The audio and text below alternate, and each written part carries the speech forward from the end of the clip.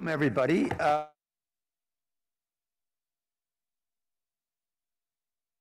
Chairs on the dais. Uh, Colleagues who are online uh, remotely. And so we're going to call roll just to make sure we got everybody with a screen that's working. Uh, Tony?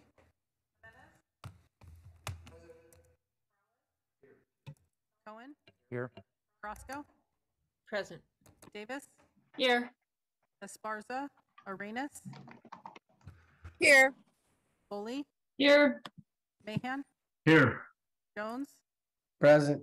Liccardo. Present. You have a quorum.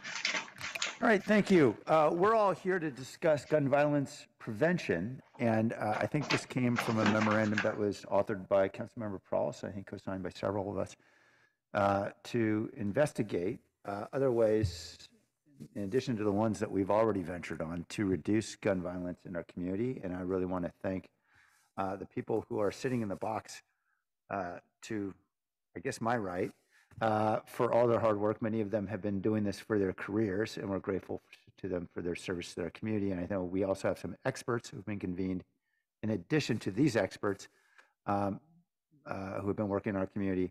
Uh, and I want to thank Sarah uh, Zarate and the entire team for putting this together. Uh, Sarah, should I be handing this off to you? Yes, thank you, Mayor. Um, the presentation's up. I'll just get started while it's going up. Uh, Good afternoon, Mayor, council members, and members of the public. My name is Sarah Zarate, Director of the Office of Administration, Policy, and Intergovernmental Relations. I'm joined by my colleague Peter Hamilton, Assistant to the City Manager, and a number of esteemed guests that I'll introduce throughout the presentation. Uh, This is not the first slide. Today's study session focuses on gun violence from a public health perspective and has been organized to provide the audience with both a macro and local perspective of gun violence.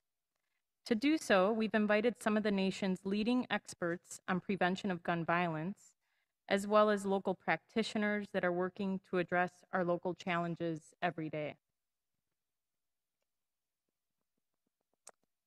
Uh, This is not It'll be just a moment to get the slides up.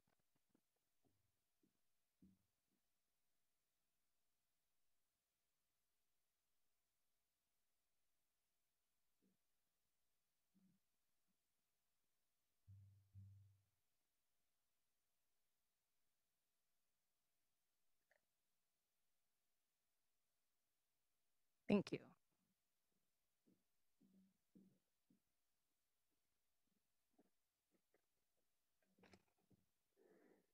Our apologies.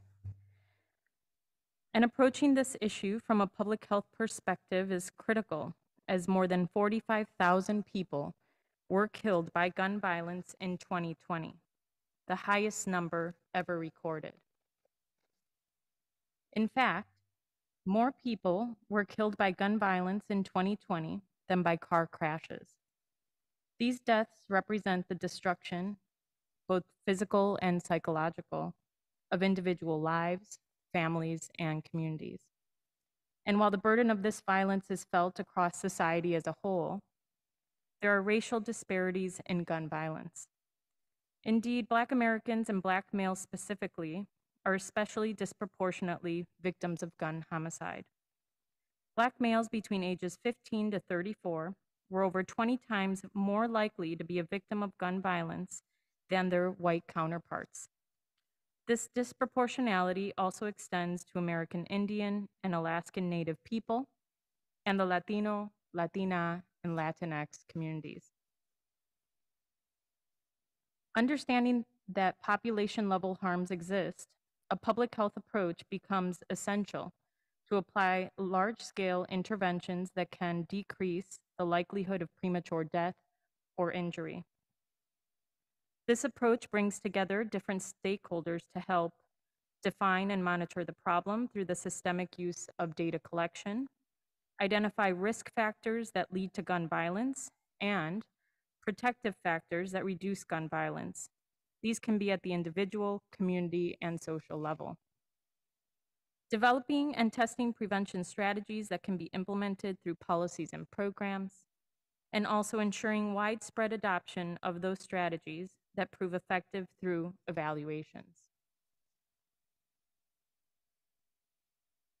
I'll now be turning it over to our keynote speaker, Dr. Daniel Webster, the Bloomberg Professor of American Health at the Johns Hopkins Bloomberg School of Public Health, the largest school of public health in the world. Dr. Webster serves as co-director of the Johns Hopkins Center for Gun Violence Solutions and is one of the nation's leading experts on firearm policy and the prevention of gun violence. He's co-editor and contributor to Reducing Gun Violence in America, Informing Policy with Evidence and Analysis, and he has published numerous articles on firearm policy, the prevention of gun violence, intimate partner violence, and youth violence prevention. He studied the effects of a variety of violence prevention interventions, including firearm and alcohol policies, policing strategies, street outreach and conflict mediation, and school-based curricula. And with that, I'll hand it over to Dr. Webster. Thank you very much, Sarah. Um, really thrilled to be with you today. Um, I would like to share my screen with my slides. I added just a few additional pieces to fill out some uh, information uh, about mass shootings that I, I wanted to incorporate. Uh, so I am going to try to do that now. Um,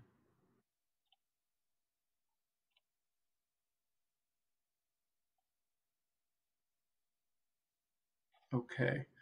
Can someone let me know whether you're seeing my screen? We're seeing your screen. Thank you. Okay, super. Thank you very much. Let me just just one other thing here. Okay.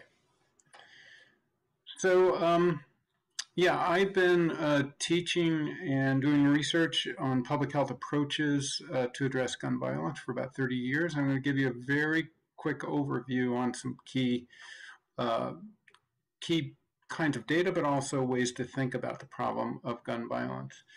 Uh, it's already, already been mentioned, uh, sort of the um, enormous public health burden of gun violence. Uh, I just wanted to recognize that uh, the most common form of firearm death is actually suicide in the United States.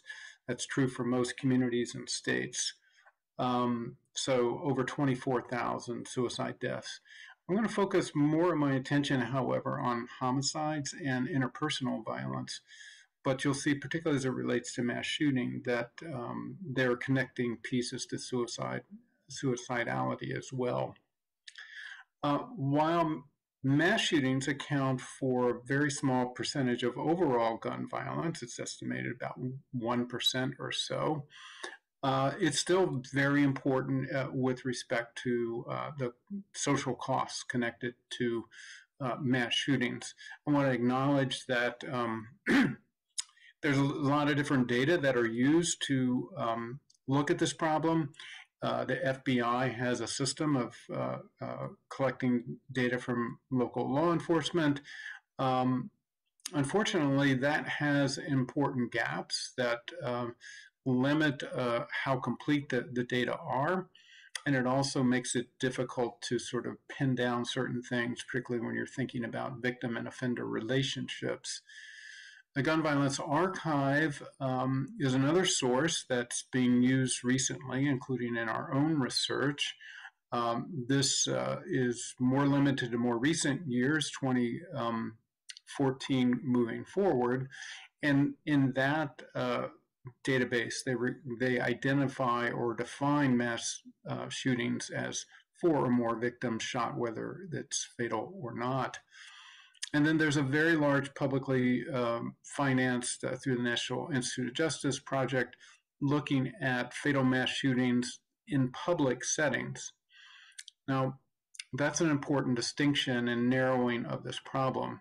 When my colleagues, Lisa Geller um, uh, being the lead researcher, looked at the gun violence archive data and looked at uh, incidents of four or more fatalities, uh, domestic violence was very prominent in um, o- over um, a- almost 60% uh, involved um, a domestic situation in which family members were killed or intimate partners were killed. And another 10% involved individuals uh, with a history of domestic violence. So, domestic violence is common uh, uh, in the backgrounds of the individuals and in the motivations of fatal mass shootings. When you look at the violence um, project's data on fatal mass shootings in public places, mental health becomes a little larger part of the puzzle or part of the problem. Um, yeah, but still, I think it has a, a relatively small share uh, in which severe mental illness like psychosis comes into play. Uh, there you have uh, less than a, a, third of the cases of some degree uh, in which it played a role. However, suicidality is incredibly common. Um, uh, the mass shooters were suicidal prior to the events in 30% of these incidents, and um, nearly 60% died at the scene, usually at their own hands. Um, what is very common is some sort of crisis, personal crisis in the lives of the individuals who carry out these mass shootings. And there are often warning signs, and this provides opportunities for prevention. And later you'll hear from my colleague Shannon Frattaroli about the use of extreme risk protection orders or gun violence restraining orders as a mechanism by which to keep guns away from individuals when they're in crisis and might be threatening uh, to commit mass shootings or to harm themselves or others. So I already been noted there's gross uh, disparities uh, uh, across race and ethnicity. I just want to highlight that here. And the other huge distinction is the degree to which the rates are far higher among males than females. Gun violence is very much a male driven uh, problem. Uh, this would look even more dramatically skewed towards males uh, if we were looking at offending rather than victimization. I wanted to take a minute, however, to try to explain and think about uh, these racial differences and uh, sort of turn to a very classic study uh, done in Chicago with the most extensive data looking at uh, gun violence and, and homicides uh, across that city with very um, extensive data on uh, households and neighborhoods. And here, the authors of this study were thinking the th- underlying thesis is that race and ethnicity are simply markers for external and malleable social contexts that different, differentially allocate by race and ethnic status in our society. Segregation is really what this is about, that exposes racial and ethnic minorities to violence producing or violence protecting conditions. And that's honestly the way I think about it as a public health scholar, thinking about uh, these disparities and inequities. What they found in this study is that lower rates of marriage um, among um, individuals who are Black and parents uh, explained a large part of the um, uh, disparities.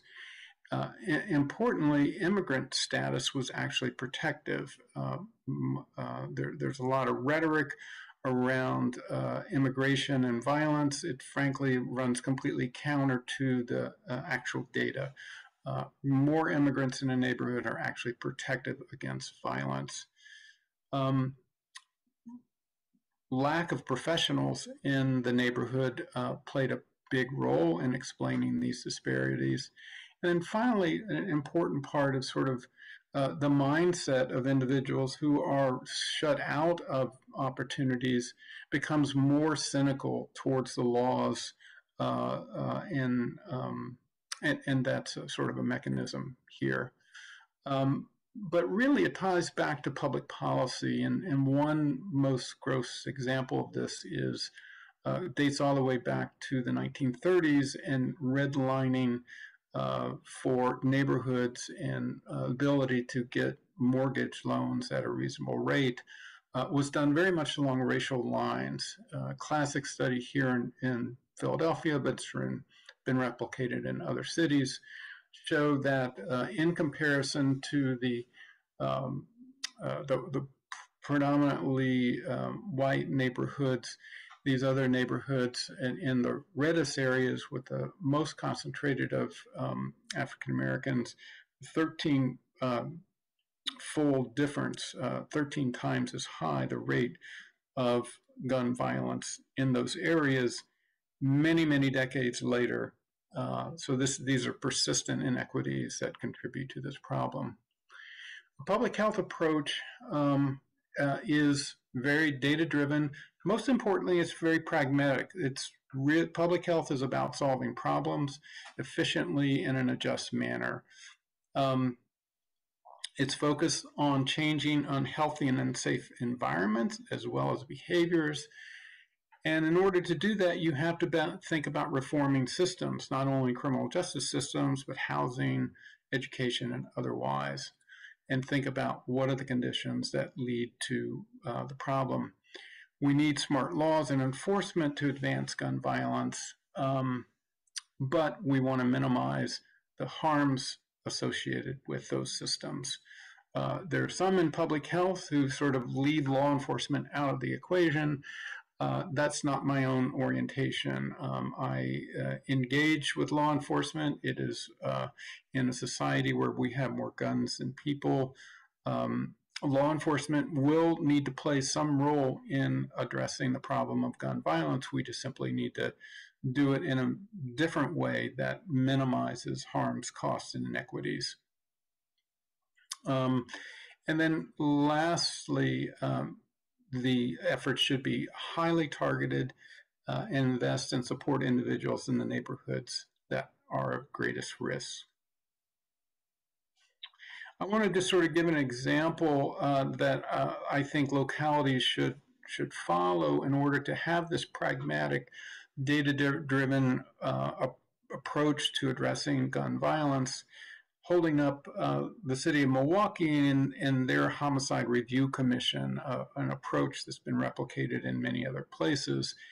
Uh, it's a, a, collaborative endeavor to bring forward very rich, detailed data about all of these incidents and the individuals involved in a manner to not just have data for data's sake, but actually to inform decision making.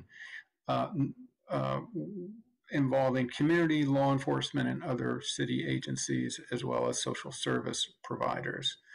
Um, so this is uh, a process to help uh, drive strategy, develop data-informed prevention uh, strategies, and focus your efforts on prevention and, and intervention. I mentioned that uh, public health approaches are, are geared towards changing the conditions that uh, facilitate or enable gun violence. One of those conditions is urban blight. There's been a number of studies that look at what we call cleaning and greening, changing these um, vacant uh, lots into uh, really nice green spaces for communities. Um, very minimal cost uh, reduces gun violence by 8% in one study. And again, this has been replicated in other places as well somewhat more costly uh, intervention approach, but with a, still a very high return um, uh, cost benefit in terms of uh, uh reducing gun violence, is fixing up abandoned buildings in um, before so that they um, don't lead to more blight in a neighborhood. one study found a 39% reduction um, in uh, associated with this type of strategy. And again, this has been replicated in other places as well. Um, Philadelphia is a place that's done a lot of these sorts of interventions, and another approach was to um, have a special grant program for low income uh, homeowners to keep up with the structural repairs so that those homes did not decrease their value and ultimately become vacant and um, help drive down um, investments in the community. Those uh, that grant program was uh, associated with declines of in um, assaults, robberies, and homicides of about um, 20% or more. Um, and um, violent crime rates were um, connecting this to sort of foreclosures, which is the bad outcome. Uh, the study found that uh, crime, violent crime, was 19% higher in those areas uh, after uh, homes are foreclosed and become vacant. Alcohol is a very important contributor to gun violence, although it's rarely mentioned when people talk about the problem of gun violence. There are a variety of strategies to address this connection of alcohol abuse and gun violence. Um, one is through um, uh, increasing taxes to reduce consumption. Um, there's a large public safety benefit because alcohol has affects a lot of outcomes, car crashes in particular. Um, the proportional effect or percentage effect on gun violence is relatively small, but again, because gun violence is so costly, uh, it is is a beneficial uh, cost beneficial to do so.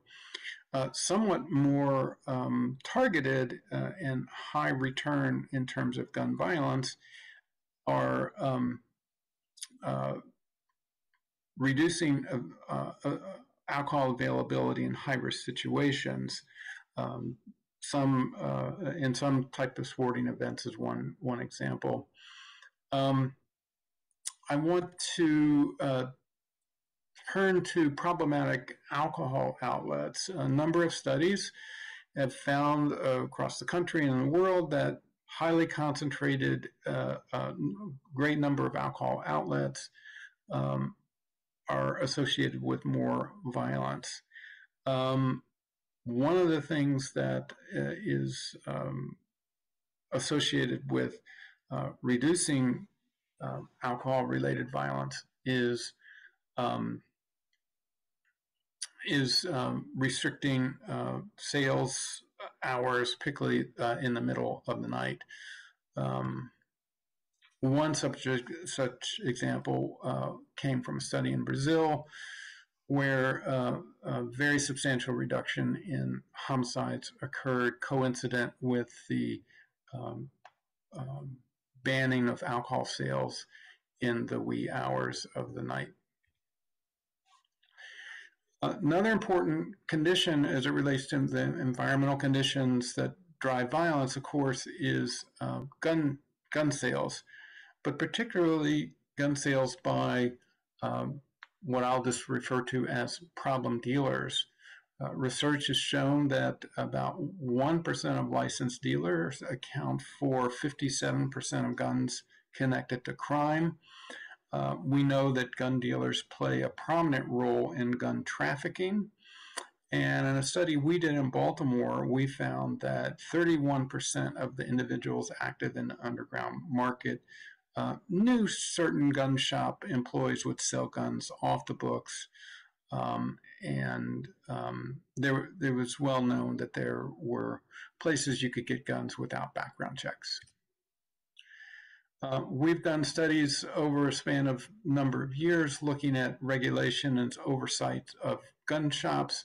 We find that in states with um, the uh, most comprehensive regulations and oversight uh, have lower rates of, of indicator of diversion of guns for criminal use. We also find uh, that in places, uh, cities that have sued problematic gun dealers for their practices, we track a very substantial reduction in the flow of guns from dealers into criminal use shortly after a retail sale, uh, as much as 62% in Chicago and in New York City, an 82% reduction in the specific dealers who were sued uh, by the city. Um, another study uh, from from Milwaukee found that even publicizing data on which dealers were the problematic ones led to substantial reduction in the flow of guns for use in crime. this occurred in the late 1990s in, in Milwaukee. Uh, a dealer there was identified as the nation's number one seller of gun uh, of crime guns. Within a week, they changed their practices, and you can see uh, overnight you have uh, like a 77% reduction in flow of guns coming from that shop for criminal use. When Congress, rather than act to address the gun dealers, uh, simply blocked the um, data to publicize which were your problem dealers, we saw a 200% increase in guns coming from this problematic gun shop, Badger Guns and Ammo. A common public health strategy um, involves uh, uh, street outreach to individuals at highest risk for involvement, either as victims or, or offenders in gun violence, with people uh, within those communities who have lived similar lives as those individuals to build trusting relationships, and then to promote nonviolent responses to conflicts um, and to actually do conflict mediation themselves as well as generally promote uh, nonviolence through community mobilization and public education.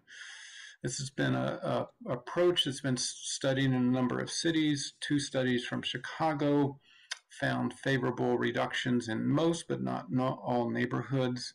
Philadelphia also found a 30% uh, reduction in shootings in the areas um, with these programs.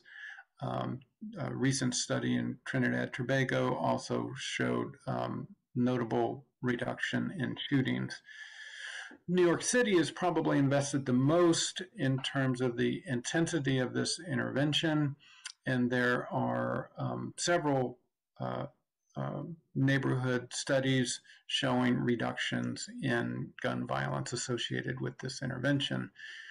Uh, I've led research in, in Baltimore over a number of neighborhoods. Uh, this is some of our most recent work looking at um, uh, cure violence interventions in Baltimore uh, in places where the program's been in place for at least four years. You see significant reductions in homicides uh, in those cities, at least within the first uh, four years the program is, is implemented. However, we did see that there was a deteriorate there was a deterioration, excuse me, in those effects in many of the communities over a longer period of time. It underscores the importance of effective investment management of those uh, programs. And quite frankly, in Baltimore, those were neglected um, in, in many instances. Another strategy that was actually born in, in California, um, DeVone Bogans was the um, sort of uh, developer of this approach in Richmond, California, now uh, has program referred to as Advance Peace, uh, where they have peace fellowships. Again, it's geared towards the highest risk people, in this case, in, uh, investing in mentoring, assistance with jobs, other needs, uh, to try to promote positive development. Uh, one study estimated a 55% reduction in gun violence in Richmond associated with this, and there's promising data from Sacramento as well. Turning to gun policy, we found that um, handgun purchaser licensing is the most effective single policy to reduce gun violence. California has some uh, uh, very strong laws as it relates to guns. Uh, but somewhat mysteriously, to me anyway, is that the strategy we find most effective they have not done, which is handgun purchaser licensing. Typically, this involves um, applying directly to law enforcement agencies, fingerprinting, some safety training requirements as well. Uh, we published a study in 2020 that uh, contrasted uh, what happened in Connecticut when it adopted a handgun purchaser licensing law in 1995 and what happened in Missouri when it repealed its licensing law in 2007. Um, what we found in Connecticut was over a span of 22 years, 28% lower rates of gun homicide uh, estimated uh, associated with that um, law.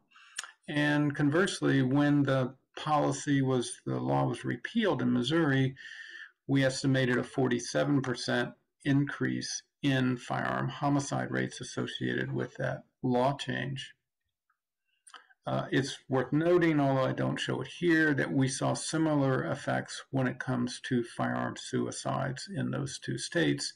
And we found in two states that just did comprehensive background checks, which California does, we did not find measurable increases. It was only with the licensing. The key mechanism here is reducing straw purchases or diversions of guns for criminal use. We found in Missouri, for example, a twofold increase in guns being diverted for criminal use um, shortly after the repeal. We looked at in Baltimore after Maryland adopted a purchaser licensing law in uh, October of 2013. Uh, 76% reduction in this indicator of gun diversions.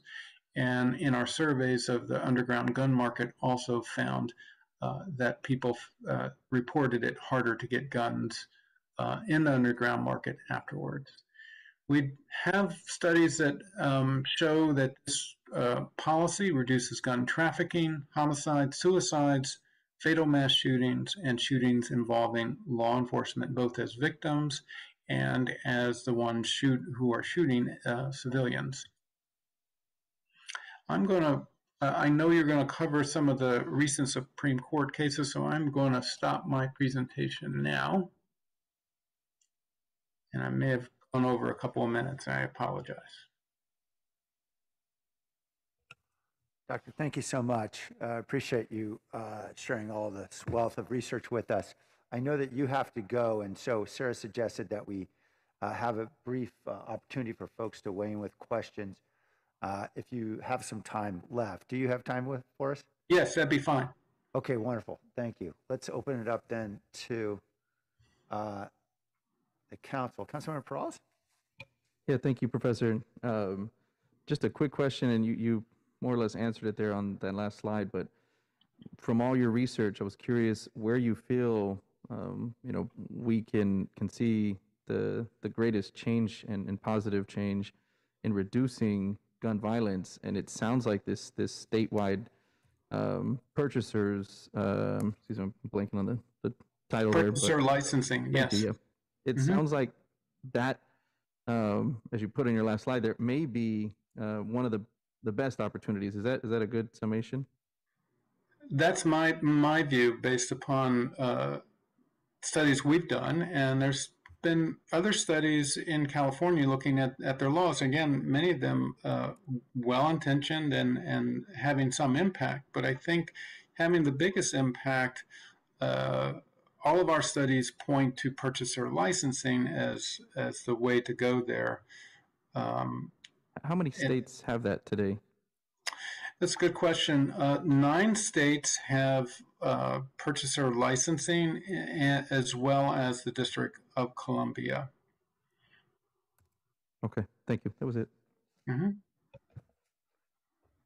All right. Uh, You know, Tony, can you see the Zoom screen right now? I'm not able to see who's got their hand up. I have no hands up. Okay. Doctor, can I just uh, ask another question about the licensing? I, I was just under the impression that would be a heavy slog um, for states today legally. Um, Are, just trying to understand if that's really a Sure. option. I know Right. California is- preempts us from doing anything there, and be Sure. interested in your thoughts there. Yeah, so um, prior to the Supreme Court decision this year, uh, there have been some challenges to purchaser licensing laws, but they've survived all of those challenges. I've been an expert witness in some of those cases. Um, the, uh, the the decision in Bruen uh, was focused on concealed carry specifically, not on purchaser acquisition.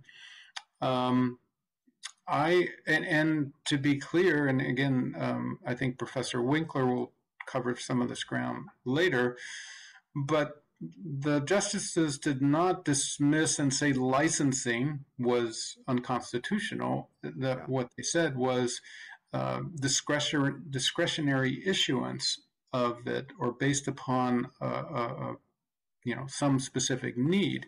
Right. So licensing um, can and should, in my opinion, can and should be done based upon uh, risk and safety considerations rather than on a special need. And I think you're on reasonably firm ground from a constitutional standpoint. Yeah, thank you for that. I know we'll, we can delve more into it soon uh, with legal experts. Um, knowing that, that at least in California, that's sort of preempted territory for us. Have you seen any outside of DC, any local communities that have been able to do that successfully? No, because again, preemption is uh, is common in most states, and so I, I don't think it's been really an option for localities. But of course, localities, uh, you know, every major jurisdiction uh, has some role in in uh, advocating at the state level for policies that they feel they need in their communities to keep them safe. Um, so I, I do think that it, it is something that cities should put high on their advocacy agenda for um, changes in uh, from Sacramento. Thank you. We'll take that nudge. uh, great advice. All right. Any other questions from my colleagues? Okay. Um, and from on Zoom? I have no, but no um, council members on Zoom with their hands raised. Great. Thank you, Tony. All right. Well, thank you very much, Doctor, for being with us. We appreciate that. And we'll move on. Okay, thank you. Thank you. Sarah? Yes, thank you, Dr. Webster, for your presentation. Uh, my name is Peter Hamilton. I'm an assistant to the city manager in the city manager's office, and I have the pleasure of introducing our next round of speakers. So if we can resume the presentation, yes. All right, so from the, the national context that Professor Webster spoke about, uh, we'll now turn to the local context here in Santa Clara County. Uh, and we'll uh, start with a presentation from our Santa Clara County District Attorney's Office, and then uh, move on to a presentation from the uh, Department of Public Health. And joining us from the District Attorney's Office is James, uh, James Gibbons Shapiro, Assistant District Attorney, and Marissa McEwen, Supervising Deputy District Attorney. In 2016, Marissa was chosen to create the Crime Strategies Unit in the District Attorney's Office, a unit that is, that is intelligence-led and involves large-scale investigative projects. As part of this, she created the gun-related intelligence program that oversees the county's approach to gun violence reduction. James Gibbons Shapiro has been with the DA's office for over 25 years and oversees the Crime Strategies Unit, among other units. He chairs the county's domestic violence death review team and the annual effort to update and revise the county's domestic violence protocol for law enforcement and the child abuse protocol for law enforcement. And with that, I'll turn it over to James.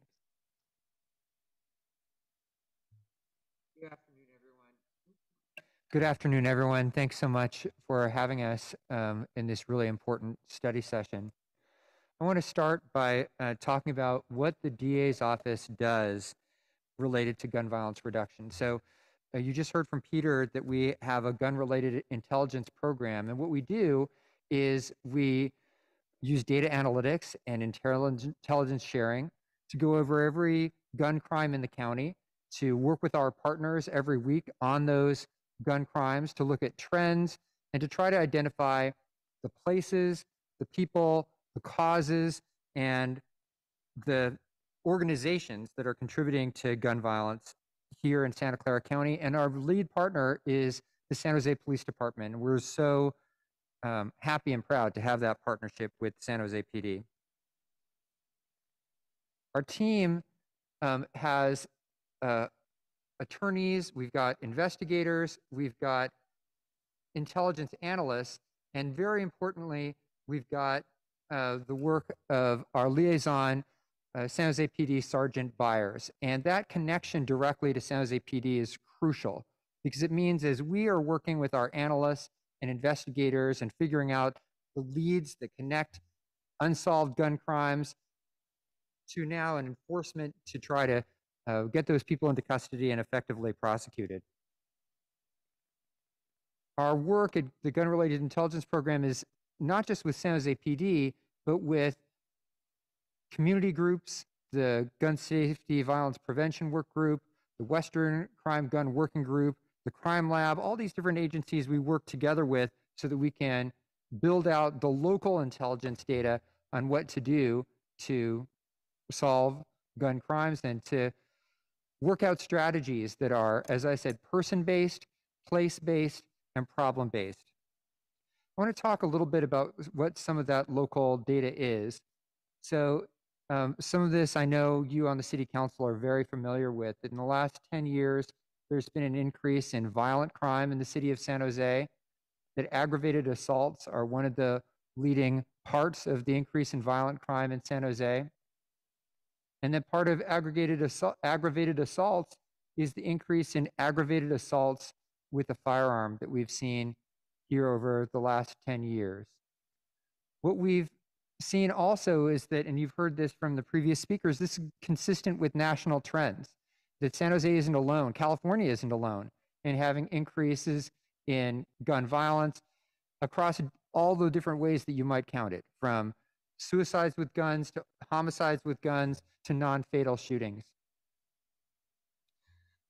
We've looked at our local data and we found it consistent with what Dr. Webster just talked about from national data that the victims of gun violence in San Jose and in Santa Clara County are disproportionately African American, disproportionately Latino compared to those groups' representation by census data in our community.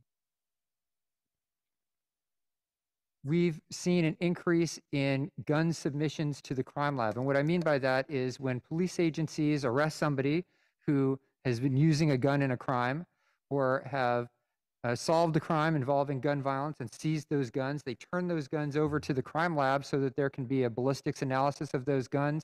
And the number of guns seized by law enforcement has increased really dramatically over the last 10 years. And part of that has to do with a great focus on gun crimes by the San Jose Police Department and other police agencies, but it also has to do with the increasing use of guns in crimes in our community.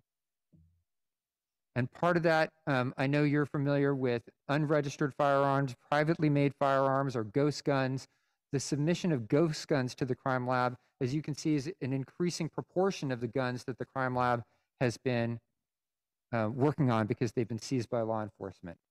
And I'm going to turn it over to Marissa now to say about this news is not all bad news. When we were talking about how to split up this uh, presentation, James said he'll start with the bad news and I get to do the good part. So uh, that's a good boss right there. Really happy to be here. Thank you for having us. And the reason that we're so thrilled to be here is because we really work every single day at our unit uh, on local approaches that are evidence based and that are going to make a real impact in our unique population with our unique gun crime problem. You saw we have increases in gun violence, but we understand more about where that's happening and how to combat it based on the data. So, the good news about more submitted guns is that we're getting more shootings linked through NIBIN, which is the National Integrated Ballistics Information Network. And that network linked shootings through shell casings. So, this was a robust effort um, to make sure that we have universal submission of crime guns, universal testing, and that has led to a huge increase in the number of linked shootings, including many homicide cases and an overall of 305 linked gun related incidents. Almost all of those are shootings, either fatal or non fatal. So that's great news. Those are all looked at through the GRIP program, and it means increased prosecution of shooters entirely based on the evidence. So we're super um, happy and proud about that program but it also means an increase in gun violence restraining orders. You're going to hear from Lieutenant Donahue about how San Jose Police Department has a program to specifically use and leverage the red flag law, gun violence restraining orders in California. That is not by accident. That has taken years to build out, to draft policy, to have staff at the city attorney's office and at San Jose PD who are equipped and trained to use these tools. We, uh, my goal is always to double that, double that, triple that. I'm on constantly on the stump um, to try and leverage this in appropriate cases where we have identified a unique risk of gun violence. And we do that by looking at all of these individuals each week. Every week we have a dramatic success story. People who, uh, for example, two weeks ago, there was a call for service, a welfare check, a suicidal individual. He at that time was just waving a knife, but we learned from the tenacious work of patrol that he had a ton of registered firearms and that he had made previous threats of violence. They got a search warrant, they got into the house, a gun violence restraining order seized 54 weapons, including multiple assault rifles. This is the kind of work that takes looking at the data, connecting with the right people, and having the right uh, resources in place to go actually get hands on those guns and disarm these individuals. Where are the gun crimes occurring? Unsurprisingly, maps of gun crimes, which um, I know you can't probably see this in too much detail right now, it is provided with the slide deck, and hopefully you can kind of uh, gnaw on this later, are the same neighborhoods, not accidentally, that are the Mayor's Gang Prevention hotspot neighborhoods, that are where we have a tremendous amount of community intervention programs because we see that there are increased levels of violence and specifically gun related violence there. The data you're looking at here are all gun related incidents that were looked at by the gun related intelligence program analysts. They include homicides, shots fired incidents, gun recoveries, and armed robberies. Um, and the density maps are broken down by quarters. Uh, again, this is in the slide deck, to, to, so you can play with it later on, but we see um, certain hotspot pockets um, centered, for example, in the downtown corridor, in Eastside San Jose, in Winchester, Cadillac, um, and in some parts of the year in Southern District as well. What kind of gun crimes are the most prominent? This is based on our GRIP data. So again, these are all of the incidents that we look at and touch. Over 856 gun-related police reports were reviewed in 2022 thus far. The analysts read each report they're looking for prohibited people, ongoing danger, people who need gun violence restraining orders, people who need to be prosecuted, a variety of different um, uh, approaches depending on the circumstances. We discuss them weekly with our law enforcement partners and federal partners for potential adoption. But overall, in the city of San Jose, what we're seeing is illegal firearm possession is the number one category of gun crimes that we looked at, but we do have quite a number of assaults or attempted murders at 9%, criminal threats, which we now have defined as our own category because we think this is such an emerging danger and a risk that we look at with increasing scrutiny over time.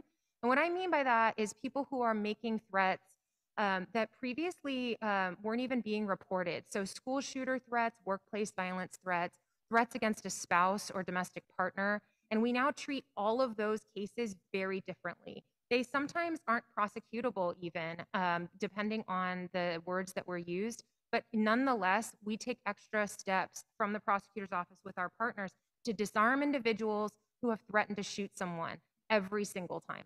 And that's how uh, we train, that's how uh, we advocate, and that's what we do. Uh, just doing a time check with James real quick. Uh, my timer has gone off, but I'm going to keep an eye on this real quick because I don't want to go over. I promised them that I wouldn't, but I want to speak on each one of these.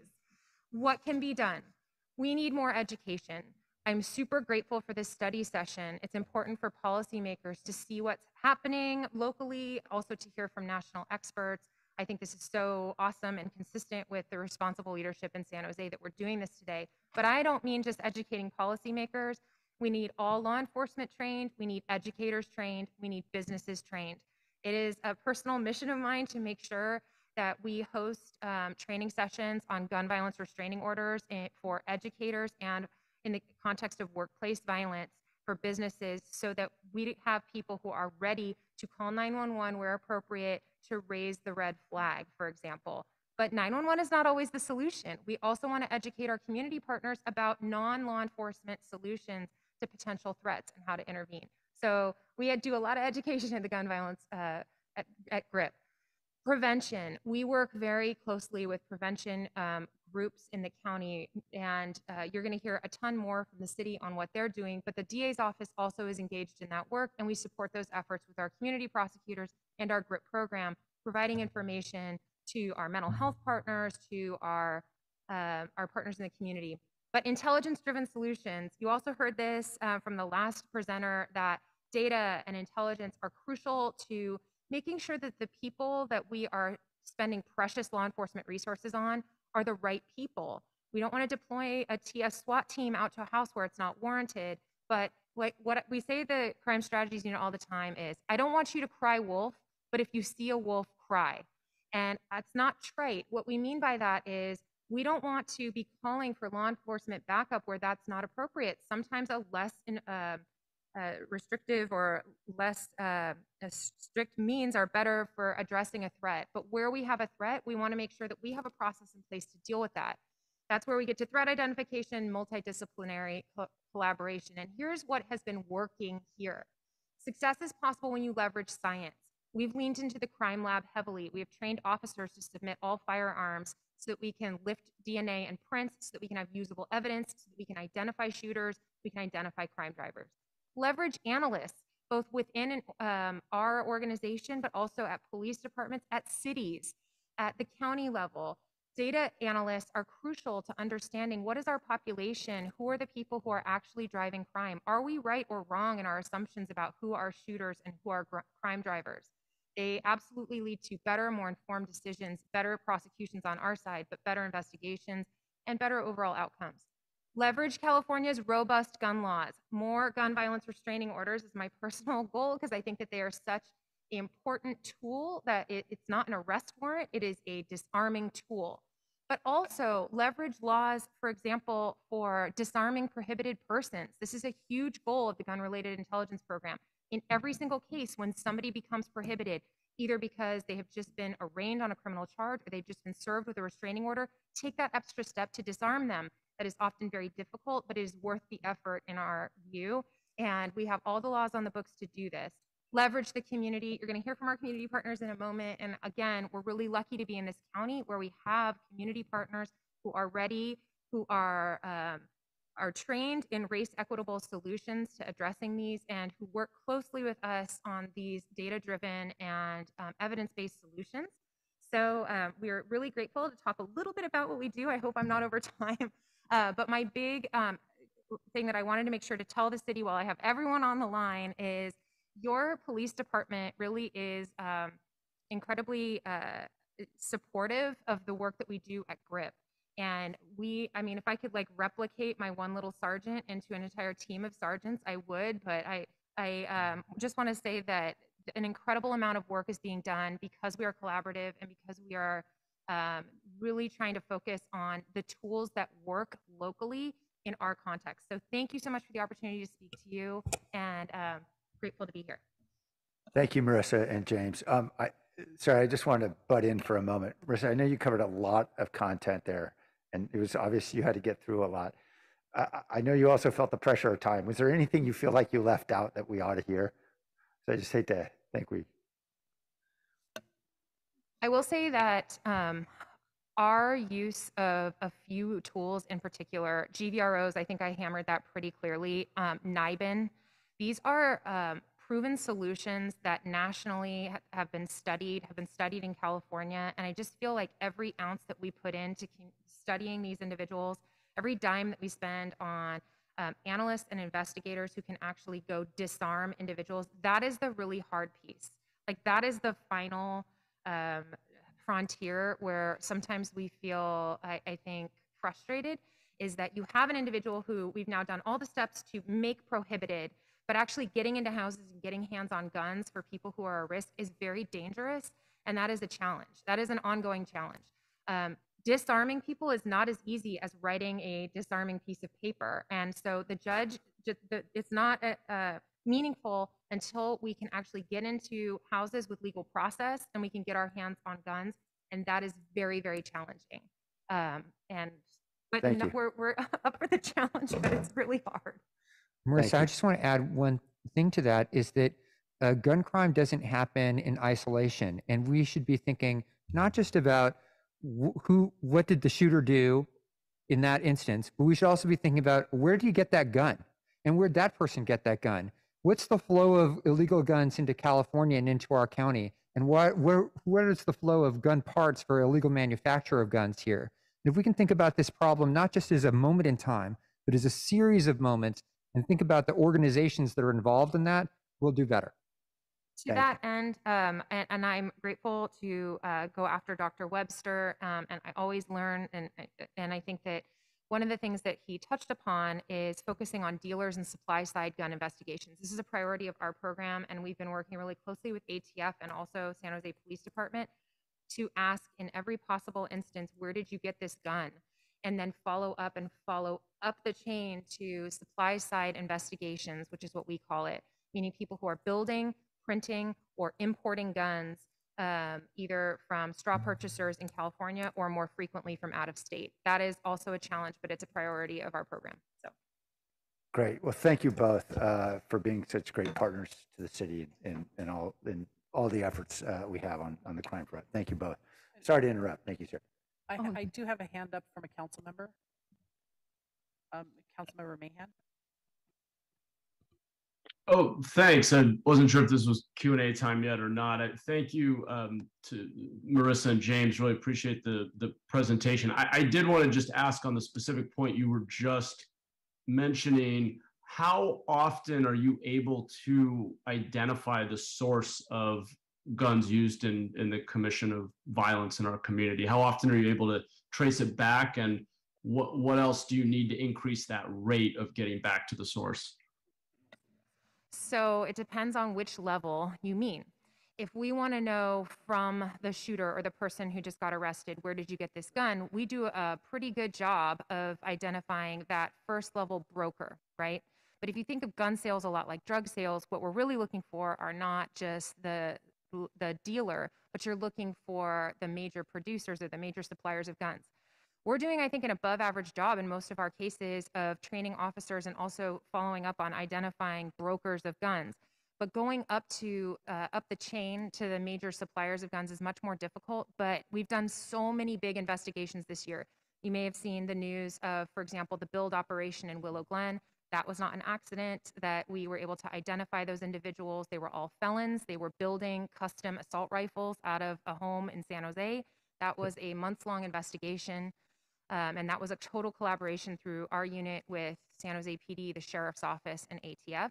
We have similar examples of trafficking rings that have been a collaborative investigation through our partnership with neighboring agencies. For example, we just uh, dismantled a large uh, Arizona based trafficking organization through uh, a months long investigation. Um, and we also had a recent success in prosecuting the source of supply for the gun that was used in the Oakridge Mall shooting at Christmas. That was Mhm. a handheld machine gun that had been trafficked um, and provided by a r- repeat dealer and source of supply in San Jose. So these investigations are ongoing, but they are time consuming to get up the stream to the source, and they really require a dedicated team of uh, law enforcement officers to do so. But we're doing this kind of on the side of all the other things that we're doing. So as much as possible, we're trying. Um, but it is it's challenging because these are complex investigations, uh, much like a long-term dope investigation used to be. So. Right, right. Well, it's incredible work, and it sounds like the biggest limitation is really just on the investigative capacity you you actually have access to. Is that Uh, right? Yes. Okay, got it. All right. Well, thank you, and thanks again for the presentation, all the incredible work you're doing. Let me just check in. Uh, Sarah, I think I violated the protocol here by going to questions. Um, Thank, thank you so much, Mayor. Um, yeah. So Marissa and James will be available uh, along with all of our other speakers at the end of the presentations. Okay, we'll, we'll hold the questions then going forward. Thanks. Thank you so much. Um, Thank you, James. Thank you, Marissa, for your presentations, um, providing that rich context of what gun crime looks like locally. We'll be turning our attention now um, to back to public health in Santa Clara County to talk a little bit about the cost of gun violence here locally. Um, Mayor, we did build in a five-minute break in case you needed that. Would you like to keep going? Uh, Was this that moment? This was, it. this was the moment, but I think, I think we're okay to plug ahead. What do you guys think? super. Okay. Thank you very much. So we'll turn now to Rhonda McClinton Brown, Director of the Healthy Communities Branch in Santa Clara County Public Health Department. Rhonda has more than 25 years in community health. Before joining the county, she was Executive Director from Community Health Partnership and Executive Director of the Office of Community Health at Stanford School of Medicine. In 2012, Rhonda received the Inspiring Change Leadership Award for her exceptional commitment and ability to enhance the health and well-being of her local communities. We're grateful to have Rhonda with us, and I'll turn it over to her now. Good afternoon. Good afternoon, Doctor. I'm just waiting for the, the slide deck to Thank you, transition. Rhonda. It's taking, it's a little bit behind here. That's okay. Here we Just go. while we're waiting to um, change the slides, I do um, want to let you know that I'm not sure that I'll be able to stay on the call um, afterwards. I think I also have to leave uh, for another deadline the Public Health Department is working on today. Um, Annie Wu is with me and she will be presenting on uh, place-based strategy uh, later in the um, in the presentations. Um, but I, while I'm here, I'm happy to answer any questions or uh, you can feel free to uh, send me questions afterwards and I'm happy uh, to try to answer them. Great, thank you. Here we are. There we go. So I just want to start off uh, by saying that this study is a long time coming. Um, as some of you may know, um, this study is a result of a, a referral that was uh, directed to the administration, which came to the Public Health Department back in uh, 20 uh, in 2019, actually at the end of 2019, following the mass shooting in Gilroy. Uh, the Board of Supervisors asked us to come back with the framework on how we could study the cost of gun violence. We did that in January of 2020 and it was approved. And then guess what happened? Um, the pandemic came upon us and uh, we needed to pivot and really focus our efforts on the extreme emergency of the COVID-19 pandemic. So we've been working on this study, uh, trying to regroup and catch up with ourselves for about a year now. Um, and so we are finalizing um, this report right now, and I'm going to just give you a little bit of the background, a little bit of the uh, cost uh, data analysis that has come from out of this report, and then uh, provide a summary of the recommendations uh, that we're mo- putting forward um, to the Board of Supervisors on August 30th of this month.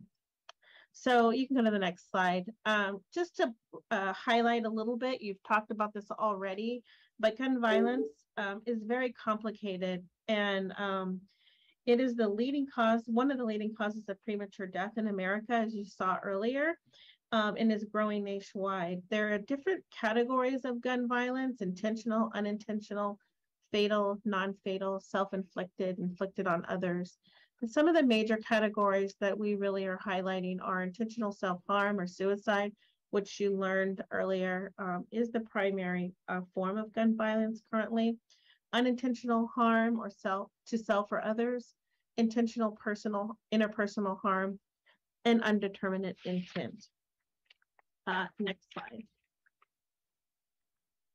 The other thing I want to highlight uh, that was uh, reflected of this study is we really wanted to ground uh, this work in with a racial equity lens because uh, there are disproportionate impacts of gun violence uh, by race. African African ancestry individuals experience three times greater fatal police shootings and 10 times greater gun homicides compared to white Americans. Similarly, Latino uh, populations are 1.5 times more likely to die by police shootings and two times more likely to die by gun homicides compared to white individuals.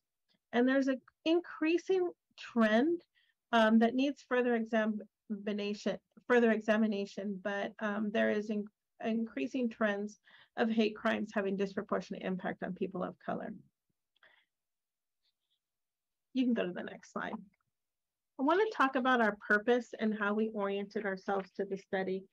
As you know, the impact of gun violence extends to aspects of the human experience that's very difficult to quantify monetarily. Um, the cost is, is beyond the person that's impacted by the gun violence, but extends on to families, to communities, to those who witness shootings, to children who grow up in an environment of gun violence. Um, because of that, the Board of Supervisors of, in the County of Santa Clara really wanted to uh, examine from a comprehensive perspective the cost of gun violence to really quantify the economic and social costs associated with gun violence for a longitudinal period from 2000 to 2021 to help inform policy options and strategies to advance um, violence prevention. violence prevention. The Board of Supervisors and other decision makers really wanted to utilize this study um, and point towards more effective policies and investments for upstream and systemic violence prevention. You can go to the next slide. Oh, skipped one. Is there one before that? Oh, no. Well, let me just talk about it a little bit. You can go on to the next one and I'll talk about it. Uh, there's a slide missing here, but there's a slide that has uh, six domains uh, that we utilize to do this study. And I'll just uh, call them out a little bit, and they're summarized here in a more simplistic way.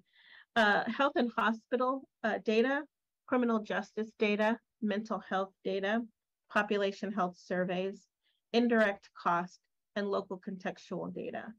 And so um, we utilized those domains using a peer-reviewed framework uh, established by the Prevention Institute for Research and Evaluation, led by Ted Miller. Um, this slide here uh, simplifies the cost a little bit more clearly into direct and tangible cost, which includes the healthcare system, uh, which is comprised of medical treatment, processing of firearm crimes within law enforcement and criminal justice systems. It also includes emergency room uh, and emergency medical services. Um, other public sector data is also included in the direct and tangible costs. And then indirect costs represent um, a loss of quality of life and a loss of, of quality of income. These indirect measures are projections based on a variety of frameworks that can be used, such as the value of a statistical life index, willing to pay, index, quality adjusted um, life years index. Um, and those indexes are used to make calculations um, to project the, the indirect and intangible costs of gun violence. Next slide. So I'm going to summarize some of the key findings. Um, and you can go to the next slide. Overall, as you saw in previous slide, the trend of, of cost of gun violence is increasing. From the years of 2006 through 2020, the annual society cost of firearm violence in Santa Clara County increased from about 950 million to nearly 1.4 million cost, uh, which uh, which comprises about a 54% increase over the 15-year period. You can go to the next slide. This slide really highlights the, the, the total outcome results of the study. Um, and um, during, during 2016 to 2020, the average annual costs related to non-fatal firearm injuries and deaths were nearly $1.2 billion. The majority of those costs, as you can see in this chart, were um, in the quality of life area at 82%. Um, we did a further calculation breaking out these costs specifically for the County of Santa Clara public cost systems. And the County of Santa Clara incurs about 72 million annually due to firearm incidents at the county and city level. This estimate includes public cost in the following, uh, in, the, in the areas outlined here. So medical, mental health or behavioral health, emergency services, police, criminal justice. It excludes the cost of inc incarceration at the state and the federal level. You can go to the next slide. We also looked at costs by intent. And so during that same period of time between 2016 and 2020, more than half the firearm violence costs in the county were related to firearm assaults and homicides at 53% with uh, the next uh, area around 37% for intentional self-harm, um, which typically is outlined as suicide. You can go to the next slide. We wanted to call out the cost of firearm in the city of San Jose uh, because the city of San Jose clearly had a disproportionate high rate of gun violence relative to its population with several crime hotspots that you saw earlier in, in Marissa McEwen's maps within its borders. And we felt like greater attention to data analysis in the city of San Jose was important. also, um, the city of San Jose and the county of Santa Clara Public Health Department collaborated uh, early on in this study. Um, it took us much, much longer than it took the city of San Jose uh, to do our analysis, but we wanted to uh, come back and make a few corrections. Um, the most notable finding is that per capita costs for firearm injuries were $977 in the city of San Jose, nearly double the per capita cost of $523 in the rest of the county. Overall, the total cost in firearms in the city of in the city of San Jose remains the same um, from the cost uh, that were projected earlier. The differences uh, that are going to be included in the report are just based on we had some slight changes uh, in the cost breakdowns due to recent changes in the value per cost life, uh, which is indexed by the U.S. Department of Health and Human Services. And so we are wrapping up the final report now, which will be going to the Board of Supervisors at the August 30th board meeting. And following that, we'll be wrapping it up and we'll have a polished copy that we could uh, share more broadly. I don't think I'm going to talk about this slide much because I think it was already represented in previous conversations, but this just highlights again the disproportionate impact of a non-fatal firearm injury related uh, to race and ethnicity, as you can see. And then when we move to deaths, you can see the same thing, that there's a disproportionate impact um, by race.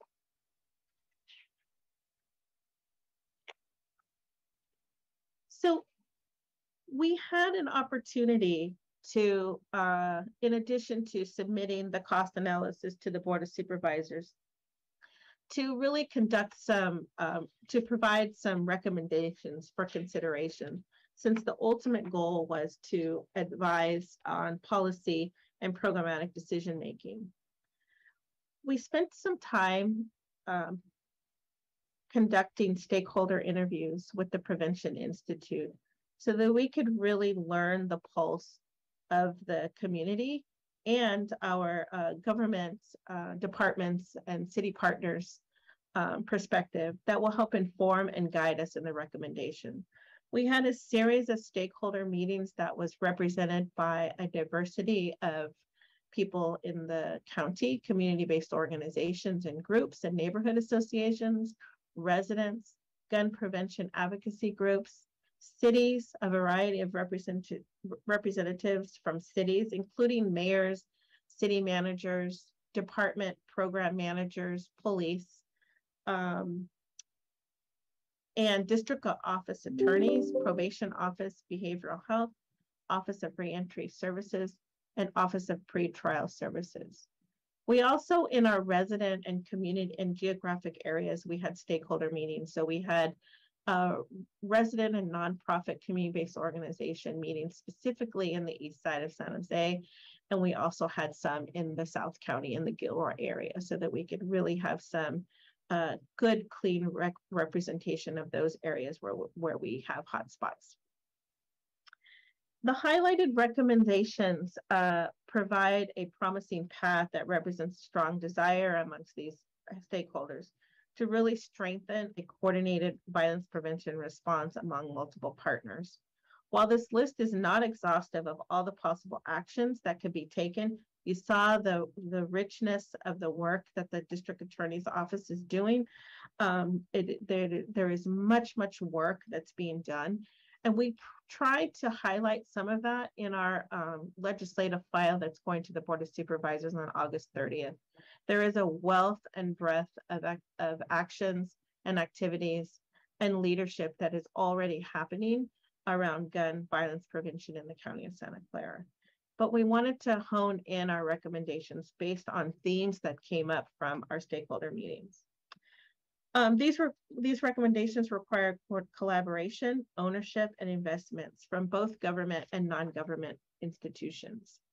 So the first one is um, around strengthening policy, advocacy, and public awareness.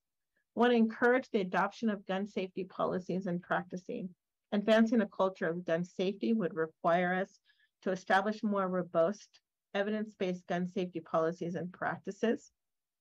The second one is to uh, adopt a racial equity impact assessment tools to evaluate county or city policy positions on gun advocate um, guns and advocate for more equitable prevention policies at the county, state, and federal levels. We often imagine and dream and really try to advance change through policy changes, but sometimes those policy changes have unintended consequences. We, we are recommending utilizing a racial equity impact assessment tool to make sure that we don't have unintentional harm that disproportionately impacts people that are most at risk and most vulnerable to gun violence. The third one is a is really a assortment and kind of a um, accumulation of a lot of things around public awareness and education that came up during the stakeholder meetings. And so we really want to implement implement a portfolio of public awareness and education campaigns on gun violence prevention. There is a lot of um, of information to broaden the understanding of safe of gun safety laws. Maritza just uh, Marissa just talked about uh, gun violence restraining orders and the importance of providing training so people understand it and that people can utilize it more effectively. Uh, there's other uh, policy changes around, I mean, public awareness um, recommendations around really um, focusing on gun safety uh, opportunities and also kind of changing the paradigm of what guns actually mean in the community and, and the symbolism around gun uh, possession and gun ownership. You can go to the next slide. The fourth one is adopt and replicate a community-centered place-based approaches. I, Annie Wu from the Public Health Department is going to be joining the City of San Jose shortly to talk about East San Jose Peace Partnership, which is an example of that. There's much evidence on place-based strategies to gun prevention in neighborhoods facing concentrated disadvantage and our concentrations of risk. Um, I think uh, Dr. Webster talked a little bit about this. Um, we're recommending that we really think about how we can invest more in these place-based strategies to really build community, build capacity in community levels, all aimed to address protective factors that advance equity. The fifth one is to expand partnership with ethnic behavioral health services providers. We have some models currently in the county for mobile crisis care units that are very therapeutic in, in nature.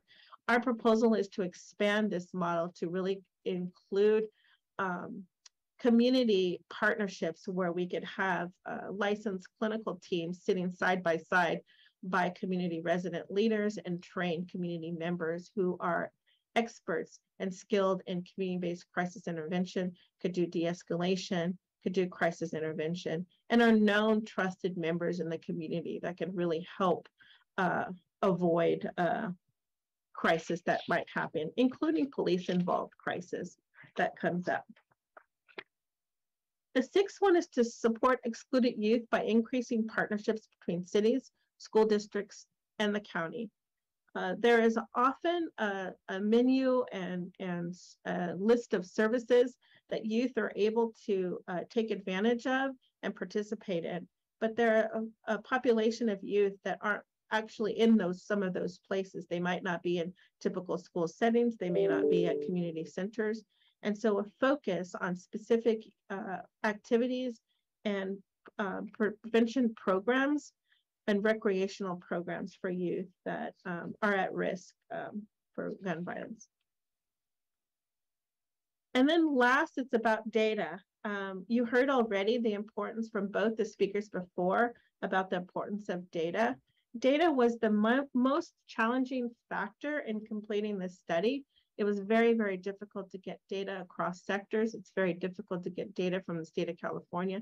It's very difficult to get population level from community action work that's happening. So we're really recommending expanding our focus and really having a dedicated gun safety data working group who could really work at um, building a, a, a lake or a repository of data so that we can better understand gun violence. It's very complicated, it's very complex, but also so that we can really provide uh, to track the trends and measure the impact of all of our efforts collectively so that we can um, inform whether or not we're making a difference, whether or not we need to pivot, or whether or not we need to move in a new direction. And the last slide is really just uh, some resources uh, that we had that we've used, and, and we're just recommending that you can have uh, your file your on your files. In closing, we just want to um, emphasize that we look at gun violence um, from an upstream public health approach. At the county level, these recommendations offer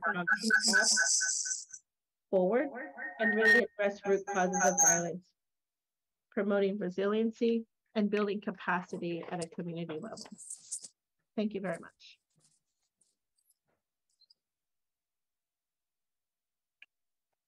Thank you, Rhonda, for that presentation. And we'll just note for the council that Rhonda mentioned a racial equity tool for use um, on gun violence issues. And you'll note that uh, attached attachment B to the memo we issued for this study session is an example of one such tool. Peter, Uh, thank yes. you. I'm sorry to interrupt again, but uh, Rhonda mentioned she may have to go. Is there value in just seeing if there are any pressing questions now? Would that be all right?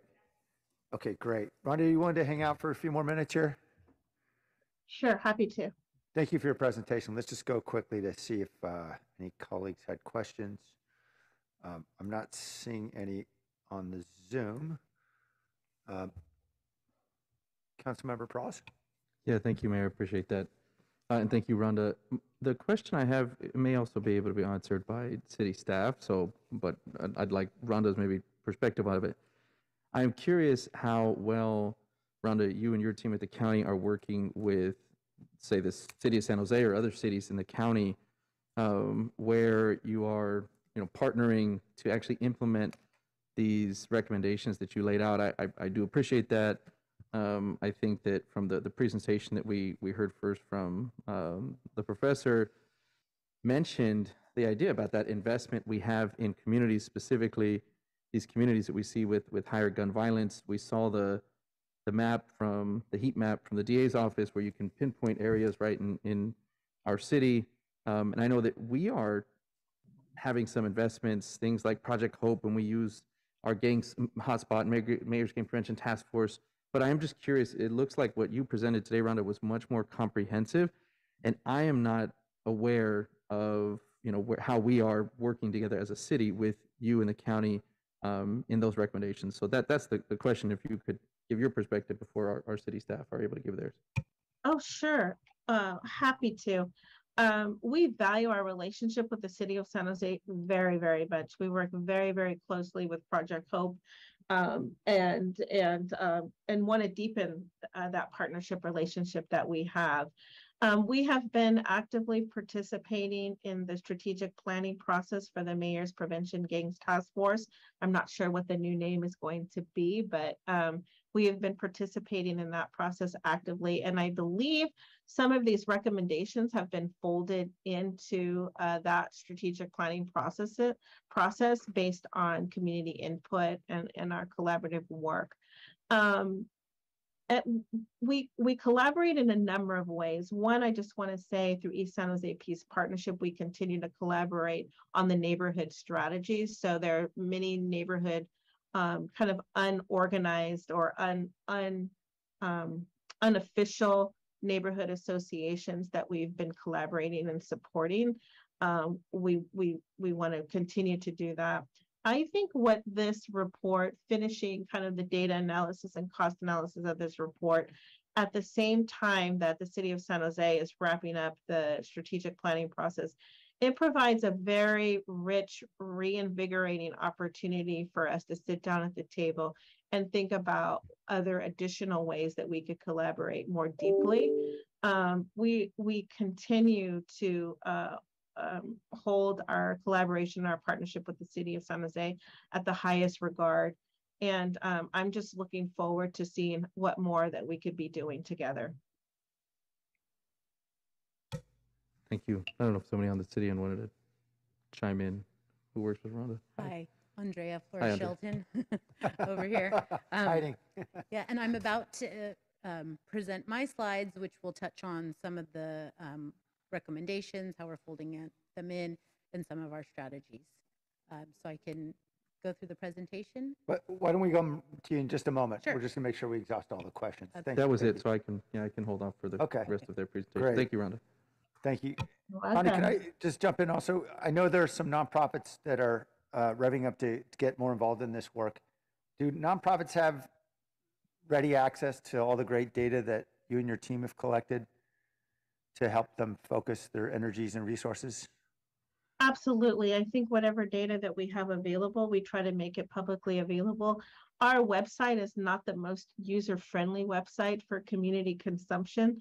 So um, what we try to do is make ourselves available as individuals and as a department. So um, if people want the data, you know, please reach out to either myself or Annie Wu who's going to be uh, presenting with Andreas Shelton, uh, Flora Shelton shortly um, and we'll try to get you the data uh, that you need. I also will say, um, as a follow-up to uh, this uh, final uh, report on the cost of gun violence study, we are going to be doing a little bit more of a deeper dive of mapping and analyzing uh, what are the resources and gaps that currently exist so that we can come back and, and make further recommendations for um, investment to to support and collaborate and to uh, leverage uh, the work that is already happening uh, by the City of San Jose staff, various nonprofit, um, community-based organizations, and residents.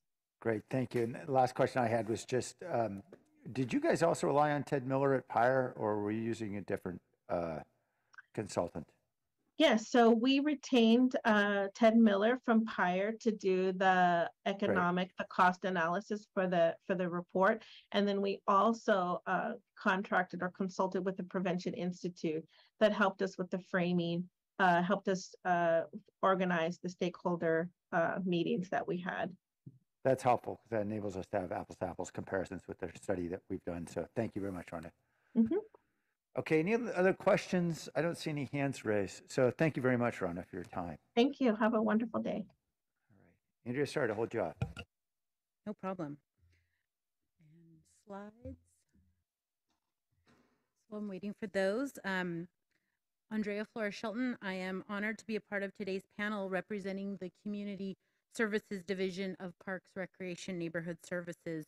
I'll be discussing our work and three specific examples that the City of San Jose invests in at the community level to prevent, address, and respond to gun violence.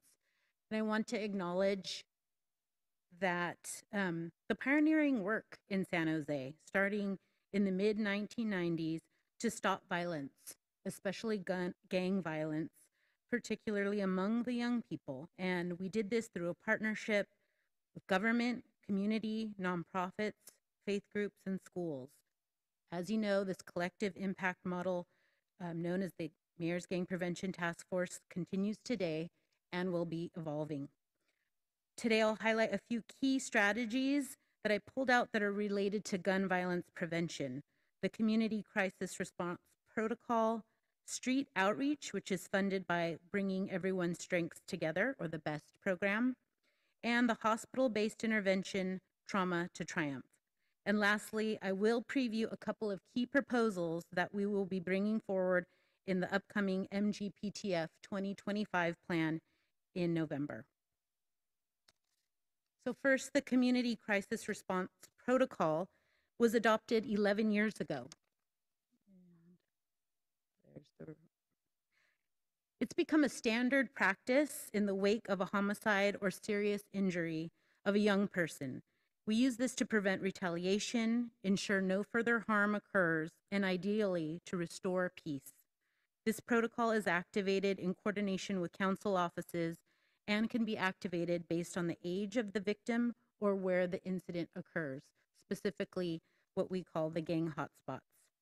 After notification of the incident from San Jose Police Department to the council offices and to the Youth Intervention Services team led by Mario Maciel and Israel Canjura, the Youth Intervention Services team takes the lead in pulling together a team of city, county departments like the DA's office and other relevant organizations, including school leaders, nonprofit providers, and others who can give an accurate assessment of the current situation and the community climate. The group focuses on the victim and the family's immediate needs, discusses the environment and best ways to de escalate the situation. At that time, a course of action is developed, and each member of the group may have follow up action items. The next phase can include a community meeting as well if there's a broader community concern that needs to be addressed. Otherwise, the action plan is carried out and the Youth Intervention Services team monitors to ensure appropriate and timely delivery of services to meet the goals. In 2021, this protocol was activated seven times three times in Council District 7, two times in Council District 5, and one time each in Council District 3 and 1. This was related to six homicides and two firearm injuries. Our next community level approach that you're very familiar with is BEST, which stands again for bringing everyone's strengths together. BEST is one of two important violence prevention grant making investments by the city into our local nonprofit community, and it extends the city's reach with trusted partners and providers who work with youth exhibiting high risk factors in various priority schools and neighborhoods. In 2020 2021, over 2,400 youth were served by BEST providers. There are five eligible best services, and street outreach is one of those.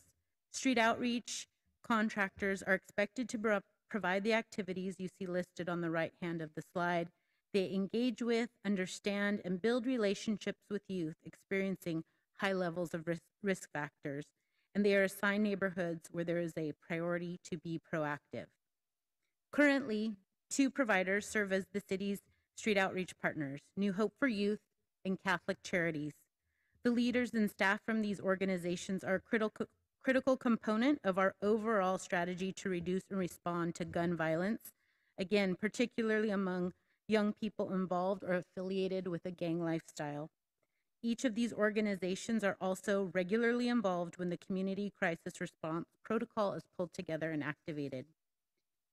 New Hope for Youth covers neighborhoods in the Foothill, Southern, and Central Police Divisions, as well as youth in Juvenile Hall and Catholic Charities covers neighborhoods in the Western and Foothill divisions. The next best cycle is scheduled to start in the new year with the release of up to date requests for qualifications. And I really want to thank Petra Reguero and her team for her leadership of this large and very dynamic grant program. The third strategy, and uh, in addition to the best funding, I want to call out is Trauma to Triumph. This is one of the city's seven youth intervention service programs, and it's again fundamental to the overall youth violence prevention strategy. You saw in uh, Rhonda's data that emergency room visits are very high for Latinos as it relates, and we count emergency room visits.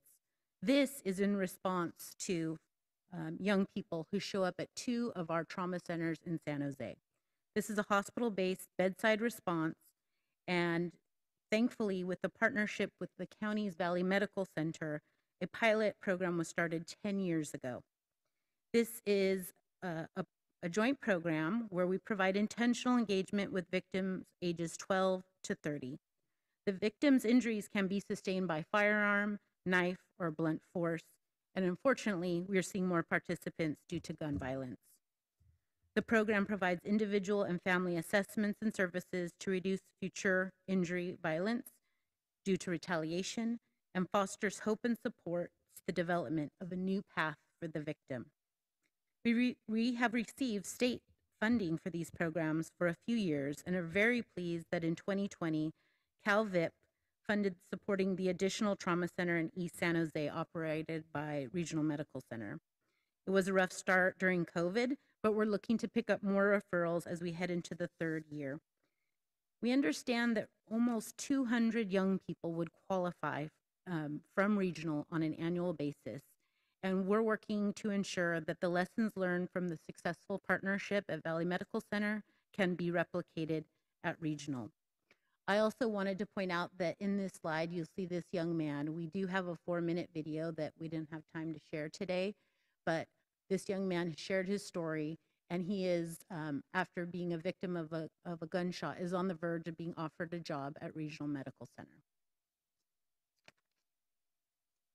So moving from program delivery to overall strategy, um, I'm previewing a few of the objectives and key results in the upcoming MGPTF 2025 plan.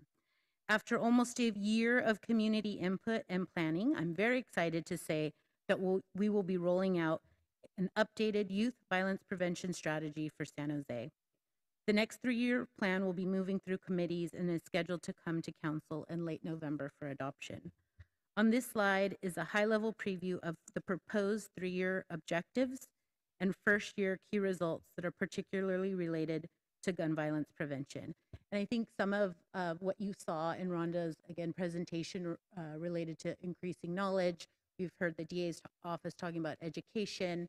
Um, we are we see that as a key objective, and we see that as uh, increasing the protective factors in young people. Um, we're also very interested in continuing to reduce youth risk factors in priority neighborhoods and schools. We see that as the key objective from an intervention strategy. And then we also, along our continuum, reduce recidivism among young people. So those are the overall three-year objectives. And then we're pulling out some key results here as to how we would roll that out. So by December of 20, uh, 2023, we're proposing to have these results in the community related to gun violence prevention. These are not the full set of OKRs, and there will be more to come as we evolve and strengthen our 30-year collective impact model to recognize that while gang violence and crime is very real and needs an intentional approach, it's time to broaden our focus to youth violence. So we can address different forms of violence when we focus on increasing protective factors and reducing risk factors, and continue to make a concerted effort to leverage other change initiatives that can address the root causes of violence. We have the Children and Youth Master Plan, the COVID 19 Recovery Task Force, in addition to the Community Plan to End Homelessness and Reimagining Community Safety. Those are all linked to the work we would be doing to reduce and prevent youth violence. With that, uh, I can hand it over to Annie Wu.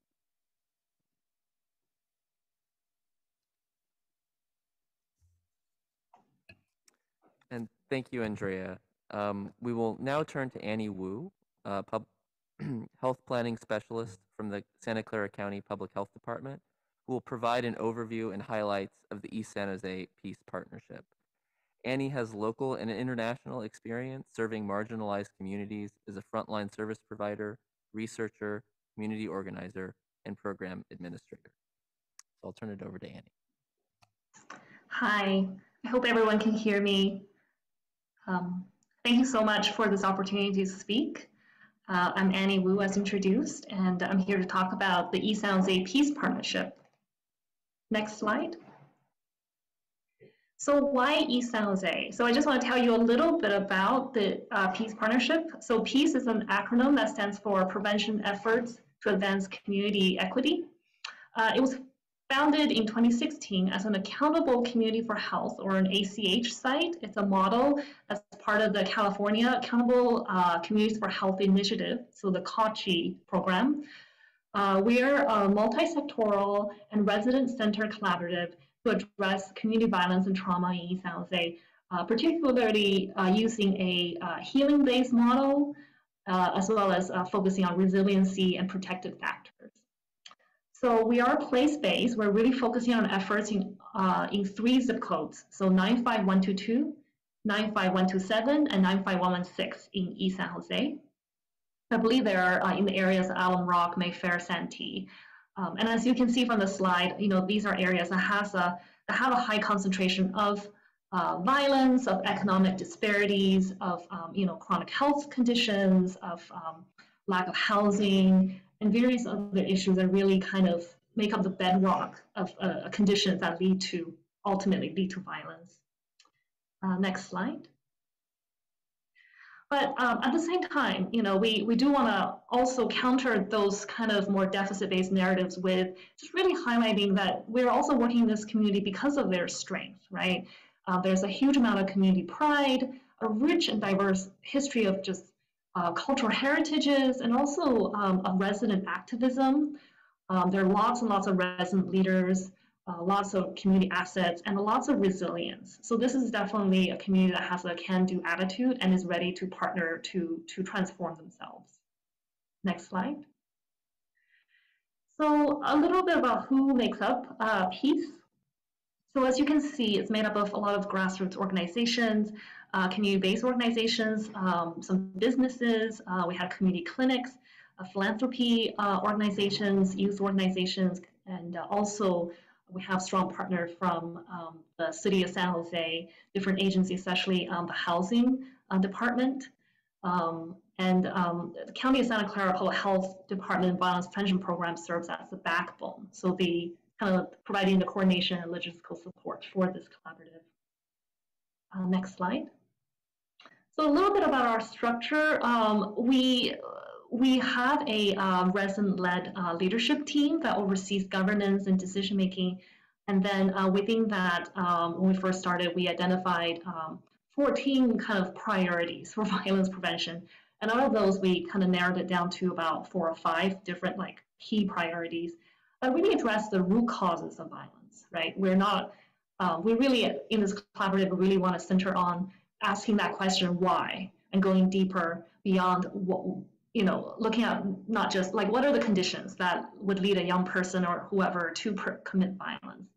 Um, so we really centered on um, fighting uh, displacement and providing, creating uh, more housing, better housing, uh, supporting efforts that create better housing for, for residents, uh, centering on um, uh, combating um, intimate partner violence um, through kind of existing infrastructures and resources such as the clinic to community uh, linkage model and through uh, promotorial model, those um, that already exist in the community and how to uplift that and, and align that with institutional efforts. Uh, next slide. So I'm skipping over a lot of different details, but um, I just want to really focus on some of our key successes over the years. So in 2020, uh, during the beginning of COVID, that, that was when our collaborative really came together. We really paused our uh, usual agenda and program and really kind of sat down with our resident leaders and, and had a very in-depth learning, uh, listening sessions with them I really learned that uh, what they really need is some immediate financial relief, especially for residents who um, do not have access to other maybe existing government resources. And so we, we have a wellness fund um, that's a, a, very unique kind of um, funding pool, funding mechanism that braids and blends funding from different sources to, to be able to be used for community identified uh, needs. And so we um, allocated set of money from a wellness fund, and our partners worked with us to fundraise over uh, $600,000 $600, to support over 730 uh, Jose individuals and families and over 30 small businesses in need. And all that kind of decision making, the funding decision making and the distribution were uh, largely led in, uh, by the residents themselves. Next slide. And then uh, focusing specifically on violence prevention activities, um, some of the work we've been doing is, uh, as I mentioned before, preventing intimate partner violence through upstream system change. Uh, we really centered on uh, clinic to community linkages, um, supporting this initiative called CUES, or program called CUES, which is a universal education screening of uh, intimate partner violence in the clinic setting, uh, really partnering with um, or agencies like uh, Community Health Partnership and uh, Next Door Solutions, and also building capacity through the promotorial model to do outreach and education in the community around um, uh, violence prevention. Uh, we also have some sort of um, very grassroots-led organizing or organizing and um, events around uh, community-based healing and peacemaking. So what do you do after some form of trauma or violent event has happened in the community? So we have worked with residents who hold uh, community conversations after uh, police shootings in neighborhoods. Uh, we facilitate dialogue, like organize the community to facilitate facilitate dialogue between um, resident leaders and police, especially in the context of, of the hiring of the new police chief. And also we organize a healing-based forum in response to the, um, the rising anti-Asian violence um, back in May of last year. And I believe that's that's all I'll say on, P, on behalf of Peace. Um, I just also thank you so much, and um, I just also want to mention that in addition to Peace at um, the Violence Prevention Program at Public Health, we also have other place-based initiatives, such as uh, Peace, Safe and Peaceful Neighborhoods, which really really focused on currently is really focused on um, activation of parks, of community spaces in kind of these high-impact neighborhoods, um, such as Children in the Rainbow Park, which um, I was there last Friday uh, with a lot of San Jose staff. And so it was great to see everybody there. Thank you.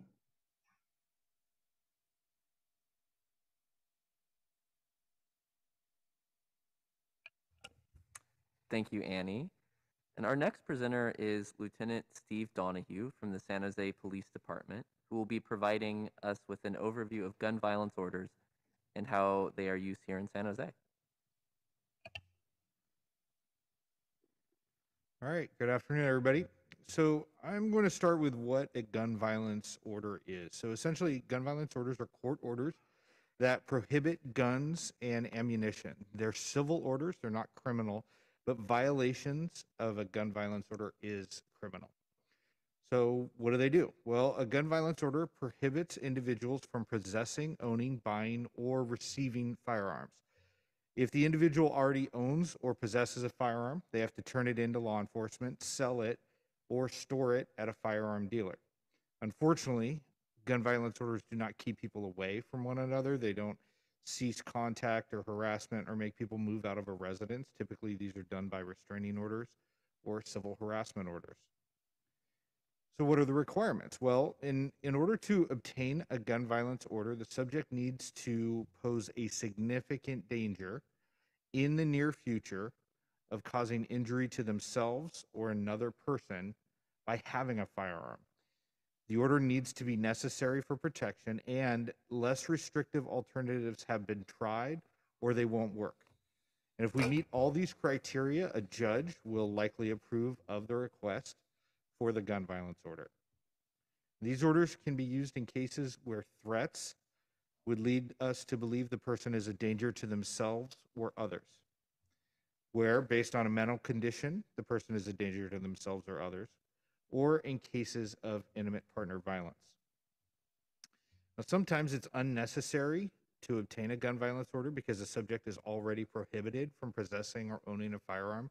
For example, persons who are convicted of a felony or have a prior hospitalization for being a danger to themselves or others are automatically prohibited. And similarly, if domestic violence restraining orders or civil protective orders are in place, obtaining a gun violence order would be redundant. So, police are not the only people capable of acquiring gun violence orders. The same legal criteria applies, where the requester must demonstrate that the subject poses a significant danger in the near future of causing injury to themselves or others by having a firearm, and the order is necessary for protection, and less restrictive alternatives were tried or won't work. However, in those cases, gun violence orders may be obtained by coworkers, employers, household members, family members, and teachers or faculty at a school. There are three different types of gun violence orders. The first one we're going to talk about is the Gun Violence Emergency Protective Order, which we call a GVEPO. The ex parte gun violence restraining order, which we call the ex parte GVRO or ex parte order, and the order after hearing. We're going to start with GVEPOs. Now, these are used, um, or I'm sorry, these are issued by law enforcement in the field at a call for service. They give the officer the ability to take the guns away from the subject right away, and they last for 21 days. The next one is the ex parte order. These are filed by attorneys like the city attorney or any of the people I talked about earlier, like family members, coworkers, etc. And these are temporary orders. They last 21 days until the time a hearing in front of a judge can be scheduled. These are delayed, meaning they're filed with the court after the fact and not in the presence of the person who's being restrained. So there's nobody taking the guns from that person at that particular time. And that's going to be key as we go on here. And the final type is the order after hearing. And these are issued by a judge after a hearing in court.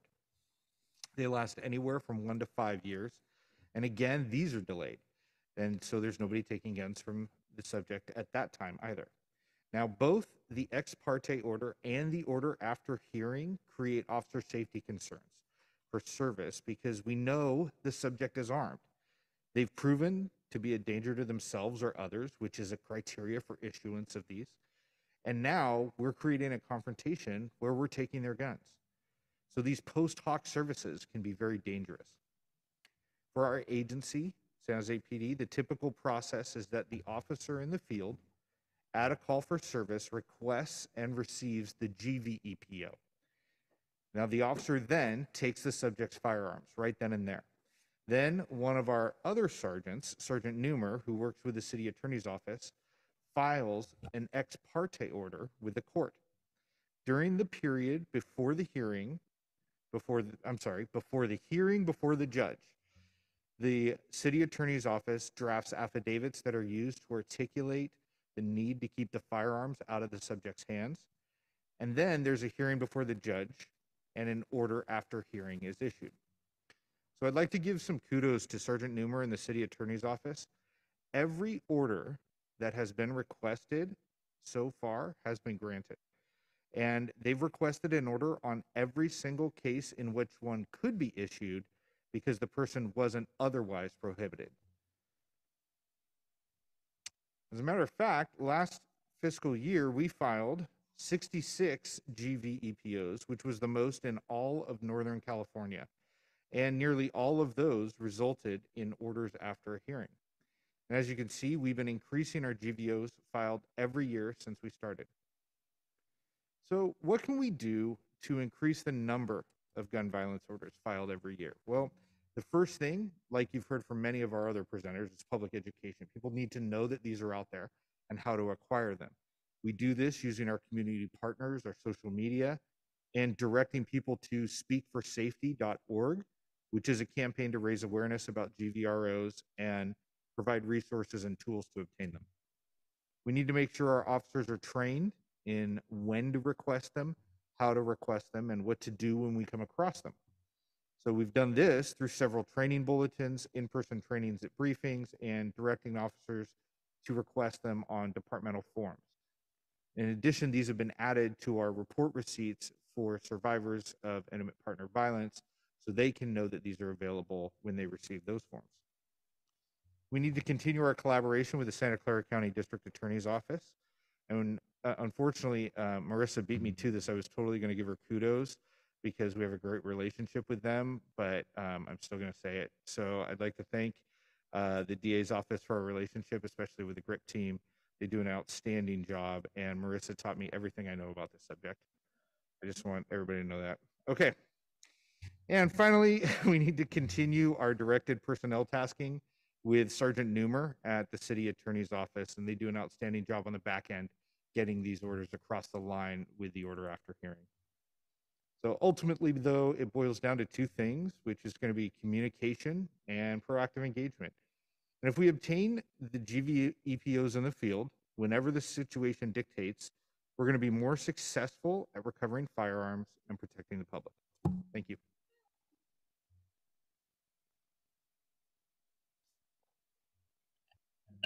Thank you so much, Lieutenant. Uh, we're now going to turn our attention to the last portion of today's study session, legal context and current policy efforts. Our first presenter is Dr. Shannon Frattaroli, professor at Johns Hopkins Bloomberg School of Public Health, whose research interests include understanding the role of policy in improving health in populations. She's involved with research and practice efforts to implement firearm dispossession provisions of domestic violence restraining orders and the new extreme risk protection orders in several states across the country.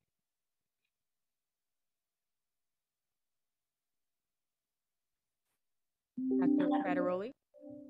Yes, thank you. Hi, good afternoon. Um, thank you for having me here. I'm pleased to be here to talk with you about some of the work that I've been doing with colleagues around the country on gun violence restraining order laws.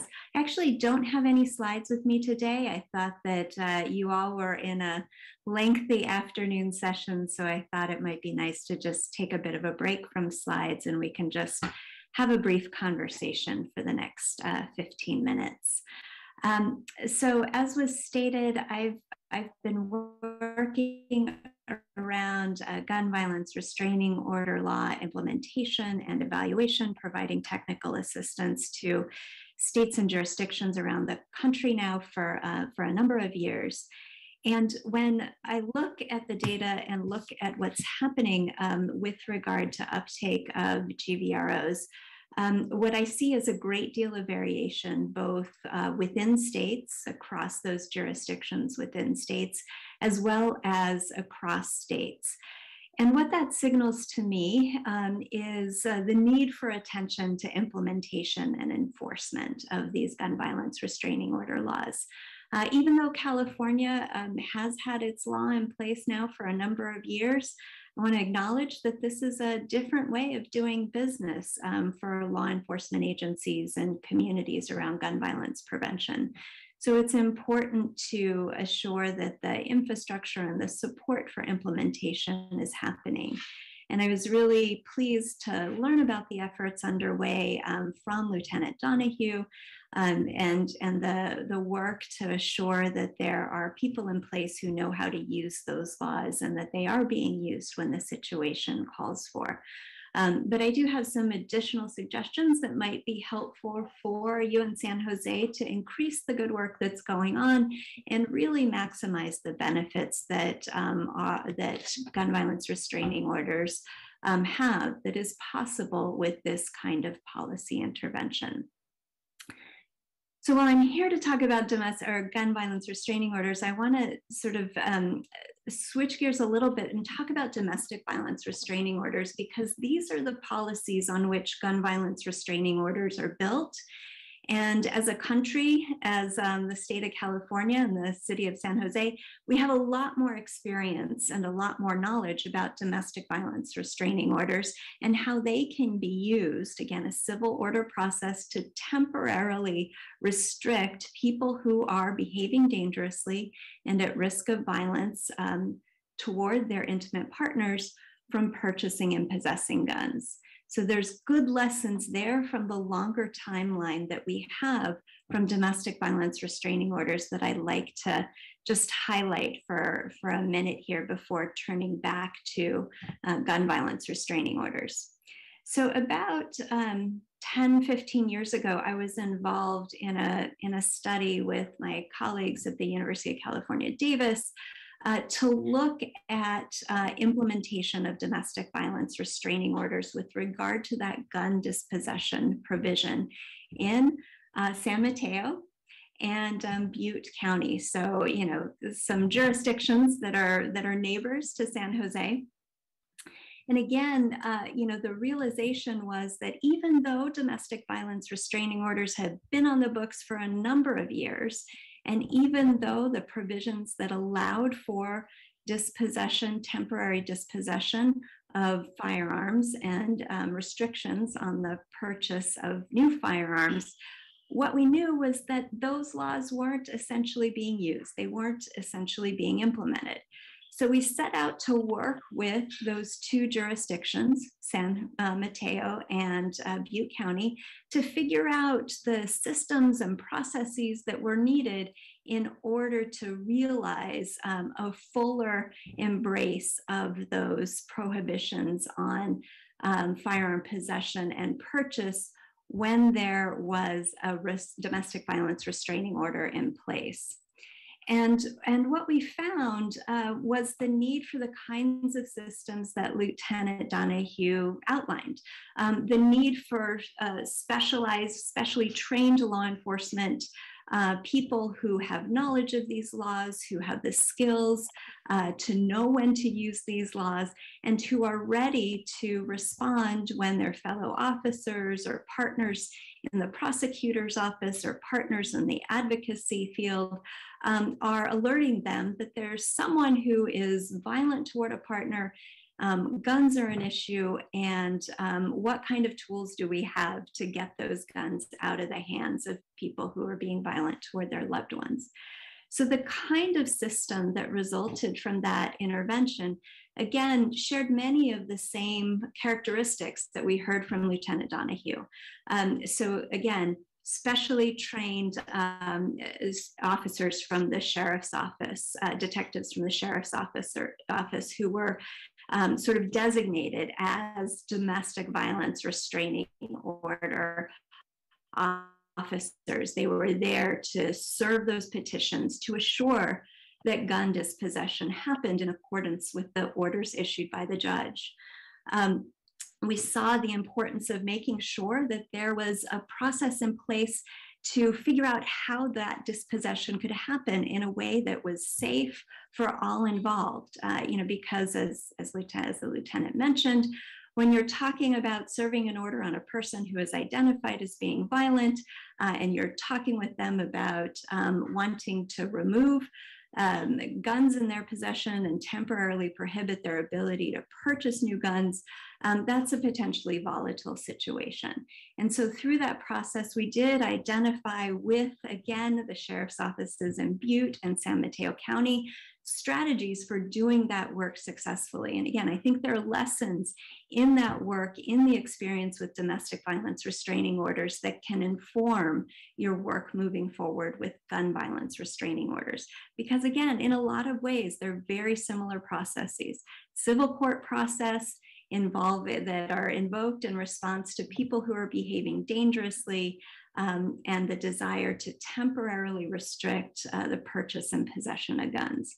So I would encourage the council to look toward that work, look toward the lessons of uh, San Mateo and Butte County with regard to domestic violence uh, restraining orders. And then I would also say, sort of moving back to gun violence restraining orders, um, when I look around the country, one of the models for the best practices, again, in my from my perspective, in terms of implementation of gun violence restraining orders, um, one of the jurisdictions that, that, that's at the top of my list is King County, Washington. And what King County, Washington has done is something that I think that you in San Jose are very well positioned to do, which is they have established sort of a specialized team that focuses on gun dispossession through civil orders that includes domestic violence restraining orders, that includes orders to address um, people who are um, stalking others, and that includes their gun violence restraining orders. So, what they have in King County, Washington is a team with representatives from the court, from the prosecutor's office, from uh, Seattle PD, from the sheriff's office, and from advocates who work with family members, who work with people who are experiencing crisis. These people all work together they examine sort of the cases that come before them. They assess when, um, you know, in order to dispossess um, a person from firearms, a civil order is in line, and they work together to make that process happen smoothly and effectively and assure that that gun dispossession happens. Uh, and, and again, um, some of the sort of um, maybe uh, challenges that the lieutenant highlighted was you know, gun violence restraining orders are appropriate for certain kinds of cases, but there are other types of civil orders, domestic violence restraining orders, that are more appropriate in cases of partner violence.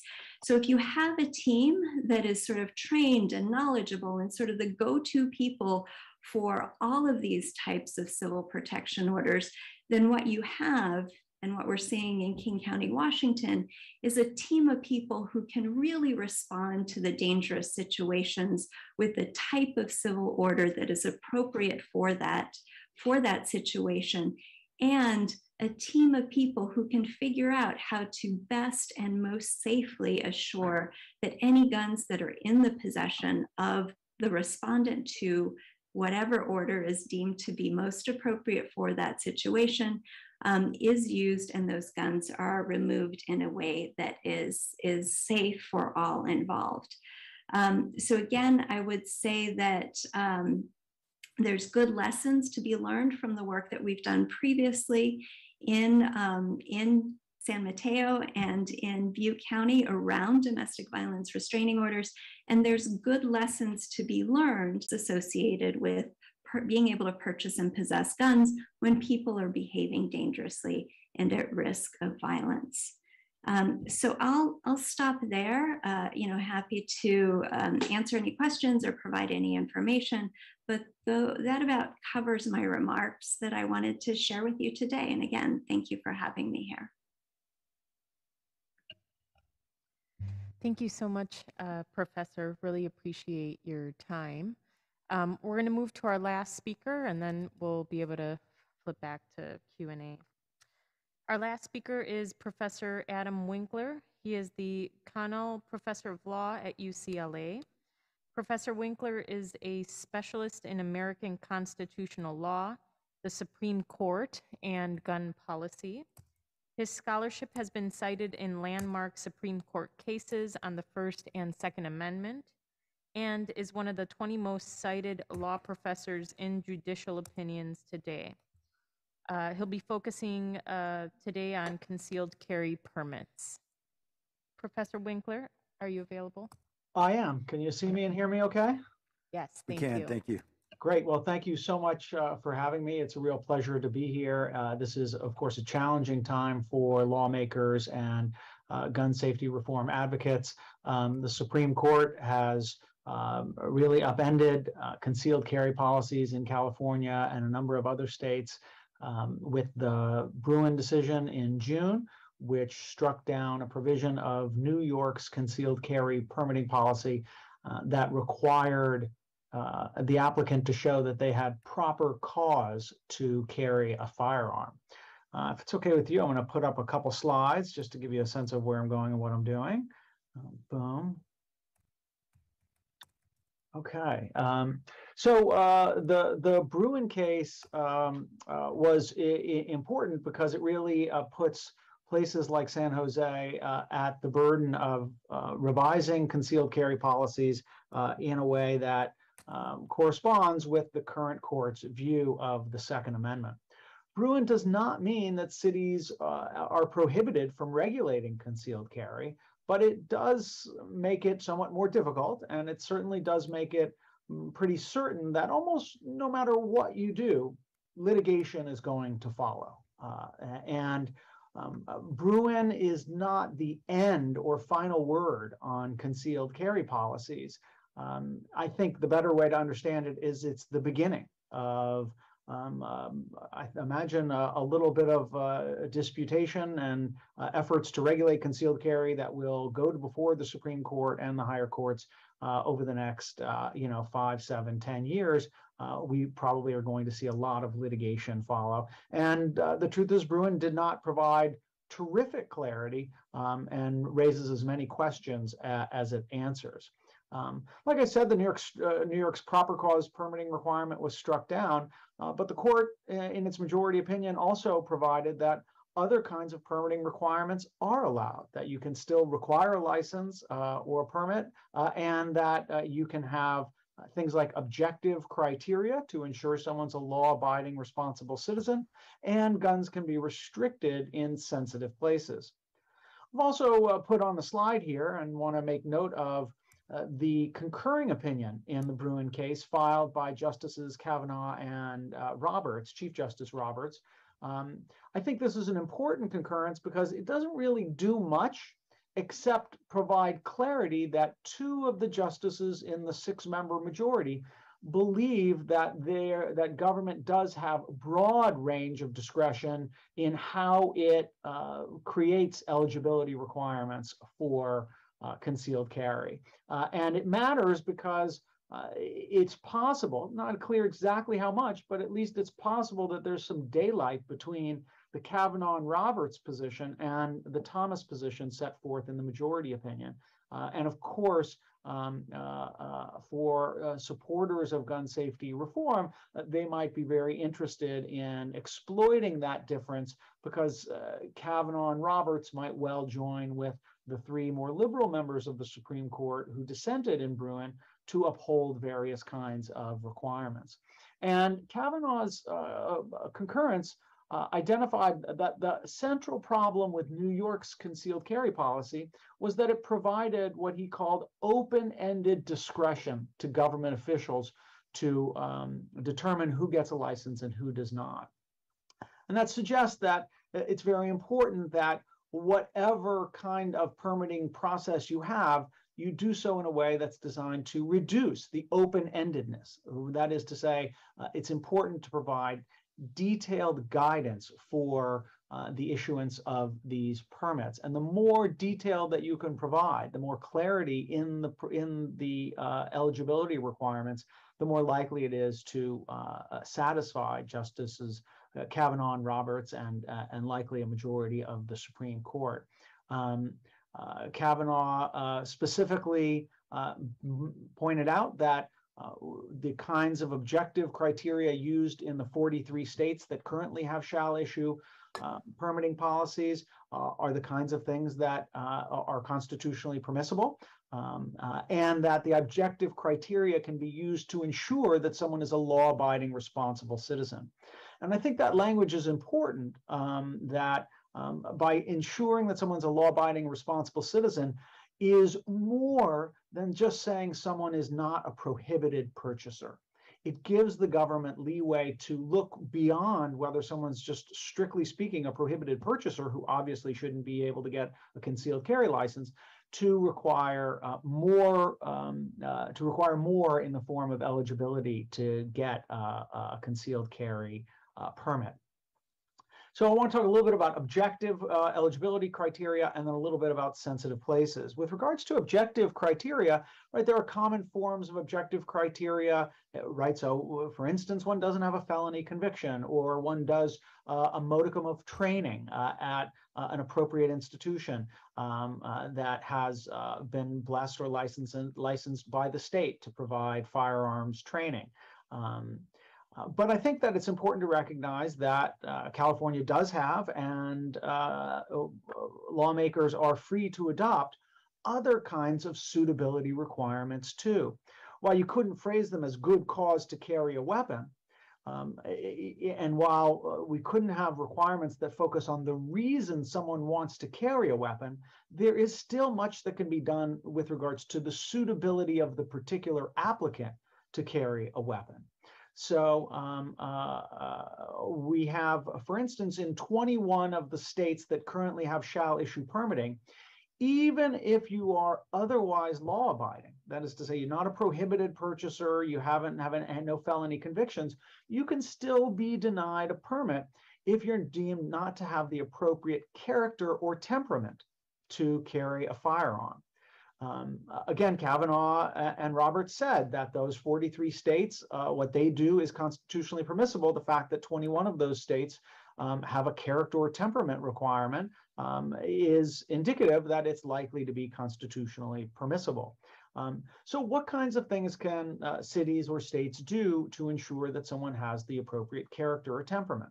Well, I think in practice, it means that cities and states can do detailed background investigations into applicants looking at, for instance, their arrest records, their whether they've been subject to a restraining order, uh, whether there is a significant mental health history that uh, leads one to be concerned about someone being a danger to themselves or to others in the community.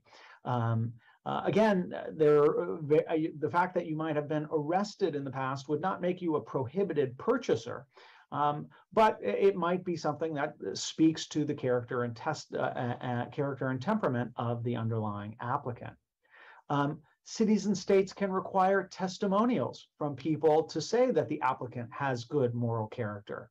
Um, uh, and note that with regards to objective criteria, such as training or education requirements, these can be a lot tougher than they are today for concealed carry licenses. In the state of California, for instance, if you want to uh, get a, a, license to be a hairdresser, well, you do like something like 1,600 hours uh, at state uh, recognized or licensed facilities. if you want to be, uh, and that's to be able to put uh, dangerous chemicals on someone's hair.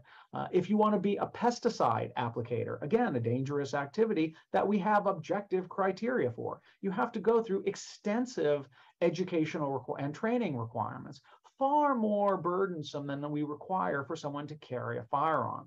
So I think even with regards to just training and education requirements, these requirements can be made pretty tough and uh, can, we can add significant hours to that uh, activity, especially in light of the fact that uh, uh, the number of people who are harmed, uh, significantly harmed by hairdressers or pesticide applicators is probably going to be uh, uh, somewhat low in comparison to those who are harmed by gun violence. Um, now, just to say that you can make them tougher is not to say that I recommend the, to the San Jose City Council that you make it 1,600 hours of training before one can carry a concealed firearm. Um, I think that anything you do will be questioned in court and, and something that's significantly out of line with um, uh, other kinds of objective criteria and perhaps even objective criteria in other states for concealed carry um, uh, will be challenged and could be overturned. Whether there's enough votes on the Supreme Court or the Ninth Circuit to overturn um, tougher education and training requirements, we just don't know. We'll have to see that. Uh, Justice Thomas very specifically called out in his Bruen opinion that uh, even objective criteria can be abused, and lengthy wait times and exorbitant fees are the kinds of things that courts will second guess. A final point is that you can have, with regards to objective criteria, as part of that, you can have a short licensing period. Um, uh, I think we, we will see in the coming years is that some cities and states will try to make it somewhat more difficult to maintain a permit if you get one by requiring that you get a new permit every six months or every uh, every year. Um, uh, again, we don't know exactly how the courts are going to rule on that, and there will be challenges, uh, but that's at least a space where we might see some experimentation. And then finally, just on sensitive places, uh, the courts have been clear, and the Supreme Court's been clear, that you can prohibit guns from sensitive places. Uh, the Heller case said that uh, schools and government buildings are presumptively areas where you cannot carry firearms. Uh, Bruen uh, itself pointed to 19th century sensitive places legislation that barred guns from legislative assemblies, polling places, and courthouses as being fully consistent with the Second Amendment. But the Bruen Court also went further and said that lawmakers can draw analogies from those sensitive places to identify and protect new sensitive places. So um, uh, uh, you're not limited to only those sensitive things that were deemed sensitive places in the 19th century. The question becomes, what makes a place a sensitive place? And uh, truth be told, we don't have any real clarity on that. The court said you can draw an analogy to some of those other places, but didn't tell us what would be the basis of a good analogy. Legislative assemblies, polling places, and courthouses are all government buildings in some way, shape, or form, or serving government functions. Is that a requirement? I don't think so, but again, we're not sure exactly which variables uh, are uh, matter. Um, one thing does seem clear that if we include schools and government buildings, along with polling places and legislative assemblies, um, uh, then it would seem that it is not a requirement that the government provide comprehensive security for those people who enter that premise, that, those premises while it's true that today courthouses have uh, extensive security and you're not getting into any significant uh, federal or state courthouse probably without going through a metal detector and making sure no one has guns, that's not traditionally how courthouses were. And certainly in the 19th century, when the court says those sensitive places legislation were permissible, um, legislative assemblies, polling places, and courthouses generally did not provide security. And certainly today, not all schools and not all government buildings ha- have security. Uh, if you go down to my local government building to get a zoning, uh, uh I mean, to get a permit for my uh, building, a construction permit for my home, uh, it's very likely that building will not have extensive security or kind of the kind of comprehensive security we might expect at some place like uh, the Supreme Court. Uh, so, what are some of the options that uh, cities and states have before them? Well, they could regulate, for instance, uh, uh, pro- prohibit guns from sens- sensitive places like hospitals or healthcare facilities, public transportation, public parks and athletic facilities libraries, churches, museums, and amusement parks. And importantly, with regards to all of these areas, there may well be constitutionally permissible to say that there's a zone around those places in which one cannot possess a firearm. As many of you know, there's a federal Gun Free School Zones Act that says you can't take a firearm uh, with some exceptions, but you can't take a firearm within a certain number of feet of a, of a school. Um, uh, presumably, we could have church zones, museum zones, amusement park zones, library zones, as well as school zones. Exactly how big? Again, we do not know, but presumably there's some space around the, those uh, kinds of um, uh, locations in which guns can be uh, restricted. Another important element of any sensitive places restriction might well be to reverse the presumption with regards to private property. Um, in many states that allow concealed carry, the presumption is, is that you can carry your firearm on private property, um, most likely, uh, I'm sorry, speaking specifically of privately owned commercial property that's open to the public, um, that uh, the general presumption is, is that you're entitled to possess a firearm when you go onto privately owned commercial property that's open to the public, uh, unless there's a sign that says no guns allowed. And if you go to Nashville today, um, uh, you, you'd almost be tempted to think it's less gun friendly than California because you have all these stores that say no guns allowed, don't no, you're not allowed to carry your firearm in this uh, in, in, this store. We don't have a lot of that in Los Angeles uh, or San Jose or other cities in uh, in Los Angeles. Um, one thing we can do, though, through law is to reverse the presumption, is to say instead of the presumption being you have a right to carry your firearm on, on privately owned commercial property, it could be reversed to say that there's a presumption that you cannot carry your firearm unless the, the property owner posts a sign allowing you to have uh, firearms on that property. And that makes it much difficult for concealed carry permit uh, holders because uh, if a private property uh, private property owner does not put out a sign, then you cannot bring that gun onto that property. So these are uh, among uh, the many things that are uh, uh, on the table for lawmakers to do. some of this stuff may be subject to preemption in light of the fact that the California State Assembly is considering new legislation in this space that will cover a variety of these kinds of options. we'll have to see what ultimately gets passed.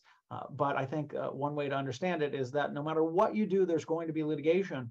But the Supreme Court has certainly created space for experimentation and for new restrictions on concealed carry that at least make it less likely that there's going to be a lot of guns easily carried on uh, San Jose city streets. Uh, and uh, with that, I will stop my screen share and thank you for having me. Thank you, Professor. Peter? Yes, thank you, uh, Dr. Winkler. We appreciate your presentation. And that um, ends the presentation portion of this meeting today.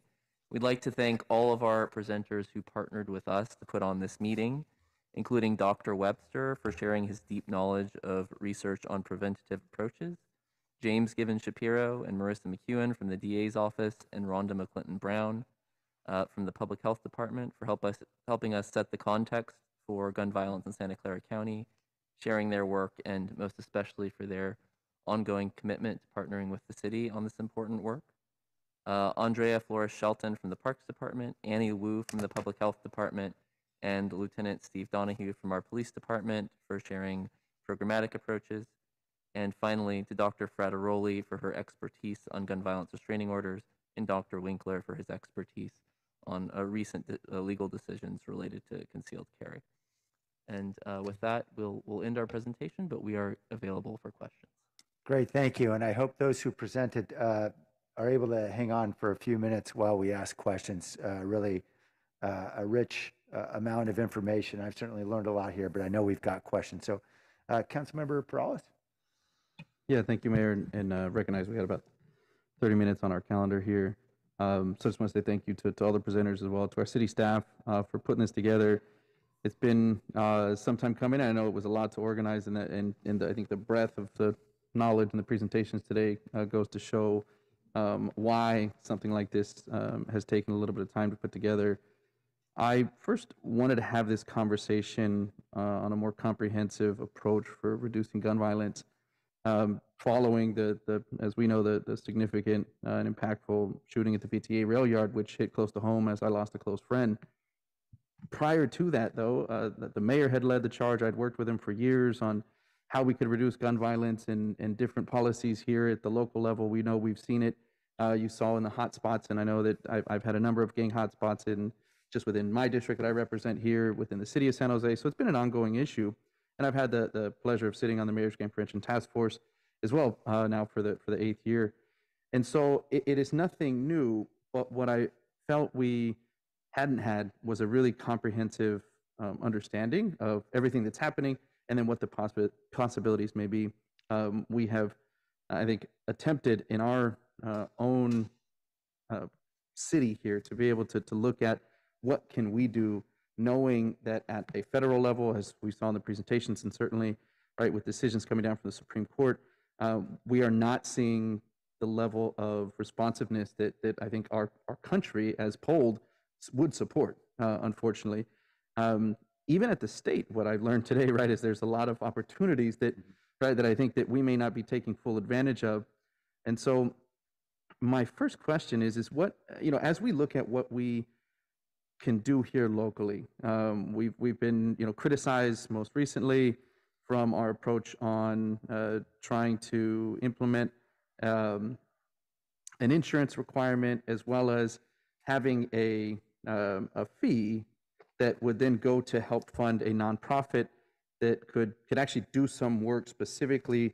focused on reducing gun violence and um, and and so I think I am interested on where we can separate the our advocacy to local ordinances or local policies, local investment. Even I think to some very basic things from the very first um, presentation uh, this morning from the professor that, that talked about just greening spaces. Right? I mean, how kind of simple it sounds, but the reality is is that in some of these areas that we know we have high levels of gun violence, um, we can make an investment in something as simple as, as cleaning up certain spaces that has nothing to do with you know our police department or the DA's office, right? It, it could be at a much more basic city service level, um, all the way up to what we've just talked about right now, and, and, and maybe advocacy that would need to be done at the state. Um, and so I'm I'm kind of curious and want to see too maybe some from city staff that they've learned through your understanding of this presentation and, and the work that's gone into it. Where can we have some focus here locally versus where can we kind of lobby, where, where do we need to lobby at the state level? And um, so I, I'll, I'll turn it over, if the city manager staff, so I, I don't know if, uh, you know, either of you wanted to be able to respond to that from what you've learned. Uh, Thank you, council member, for the question. Um, We've certainly learned a lot from all of our presenters as well. I think that there is some work that our intergovernmental relations team uh, will be tracking, um, both the legislation that's um, currently going through the state, um, but we'll have discussions around what else we could add to the legislative program in the fall that we would be bringing to you um, at the end of November, early December. Uh, we'll certainly be working with the city attorney's office on the concealed carry permits and the police department um, and other partners to understand um, what sort of changes we need to make locally. Um, and then, of course, as it relates to uh, all of the work that the DA's office has presented and other city departments, um, I think we have to just continue the conversation. I see this as a starting point. We learned a lot about blight. Um, we learned a lot about place-based initiatives, and we probably just need to continue the conversation to see what else we can do. Okay, thank you. Yeah, I, I think uh, another component that I'd like to see locally within the city would be kind of translating some of this work that may right now have a narrow focus, say within the Mayor's Gang Prevention Task Force, uh, Andrea, right, your team, your presentation, and how do we translate that to the rest of the city departments, right, and and and have an understanding as we're making investments in you know DOT or Parks and Rec, right, and other places where um, it it it will have some other benefits outside of right what that what may be the wheelhouse of that department. Uh, we've started to do this through our equity work, right, that we've really rolled out now over the last year and a half. And I'd like to see um, some of this be folded into decisions made throughout the city and, and then factor into know, how those decisions do get made. Um, and again, we've, we've talked about that on how we are now trying to have more of an equity lens as we are evaluating where we're investing in our resources, limited resources. Um, and so happy to hear your Yeah, response. Thank you, council member. And um, you really are kind of teeing up sort of a, a work plan item that um, we've been discussing. Um, How do we bring the Project Hope um, survey results as well as, um, well, to the neighborhood CSA? So we've been talking to um, Deputy City Manager Angel Rios for, um, for a few months about, we're hearing from our neighborhoods, we're hearing from these leaders, and then how do we connect sort of the built, the built environment pieces that the city, other departments um, do hold and own, and how do we bring that into sort of their work plans in that context? So um, we're definitely looking to sort of connect the dots um, as to how, if we're investing in Project Hope as our priority neighborhoods, how do we do that across the organization? Yeah, thank you. And, and lastly, and this component stood out, and I've, I've known of these statistics, but it was just, it stood out again today and likely for everybody that saw the presentation on how high and prevalent it is on uh, gun violence with, when you tie it to suicide. Um, and, and that wasn't, a, I think, a, a, a broad portion of, of any of the presentations today, right? There's a lot of focus on um, the gun violence restraining orders, right, or domestic violence, um, and and I think in, in things like you know our, our um, concealed carry, and a lot around the sort of the firearm itself, right, and how do you remove that that firearm or the illegal firearms, and but not as much of a, a focus, and uh, I think uh, on on that issue of of suicide and suicide prevention and how. Um, how different that work really is, right? Um, you, you, when you bring the firearm into that situation, somebody that is suicidal, um, certainly we see where these these numbers are at.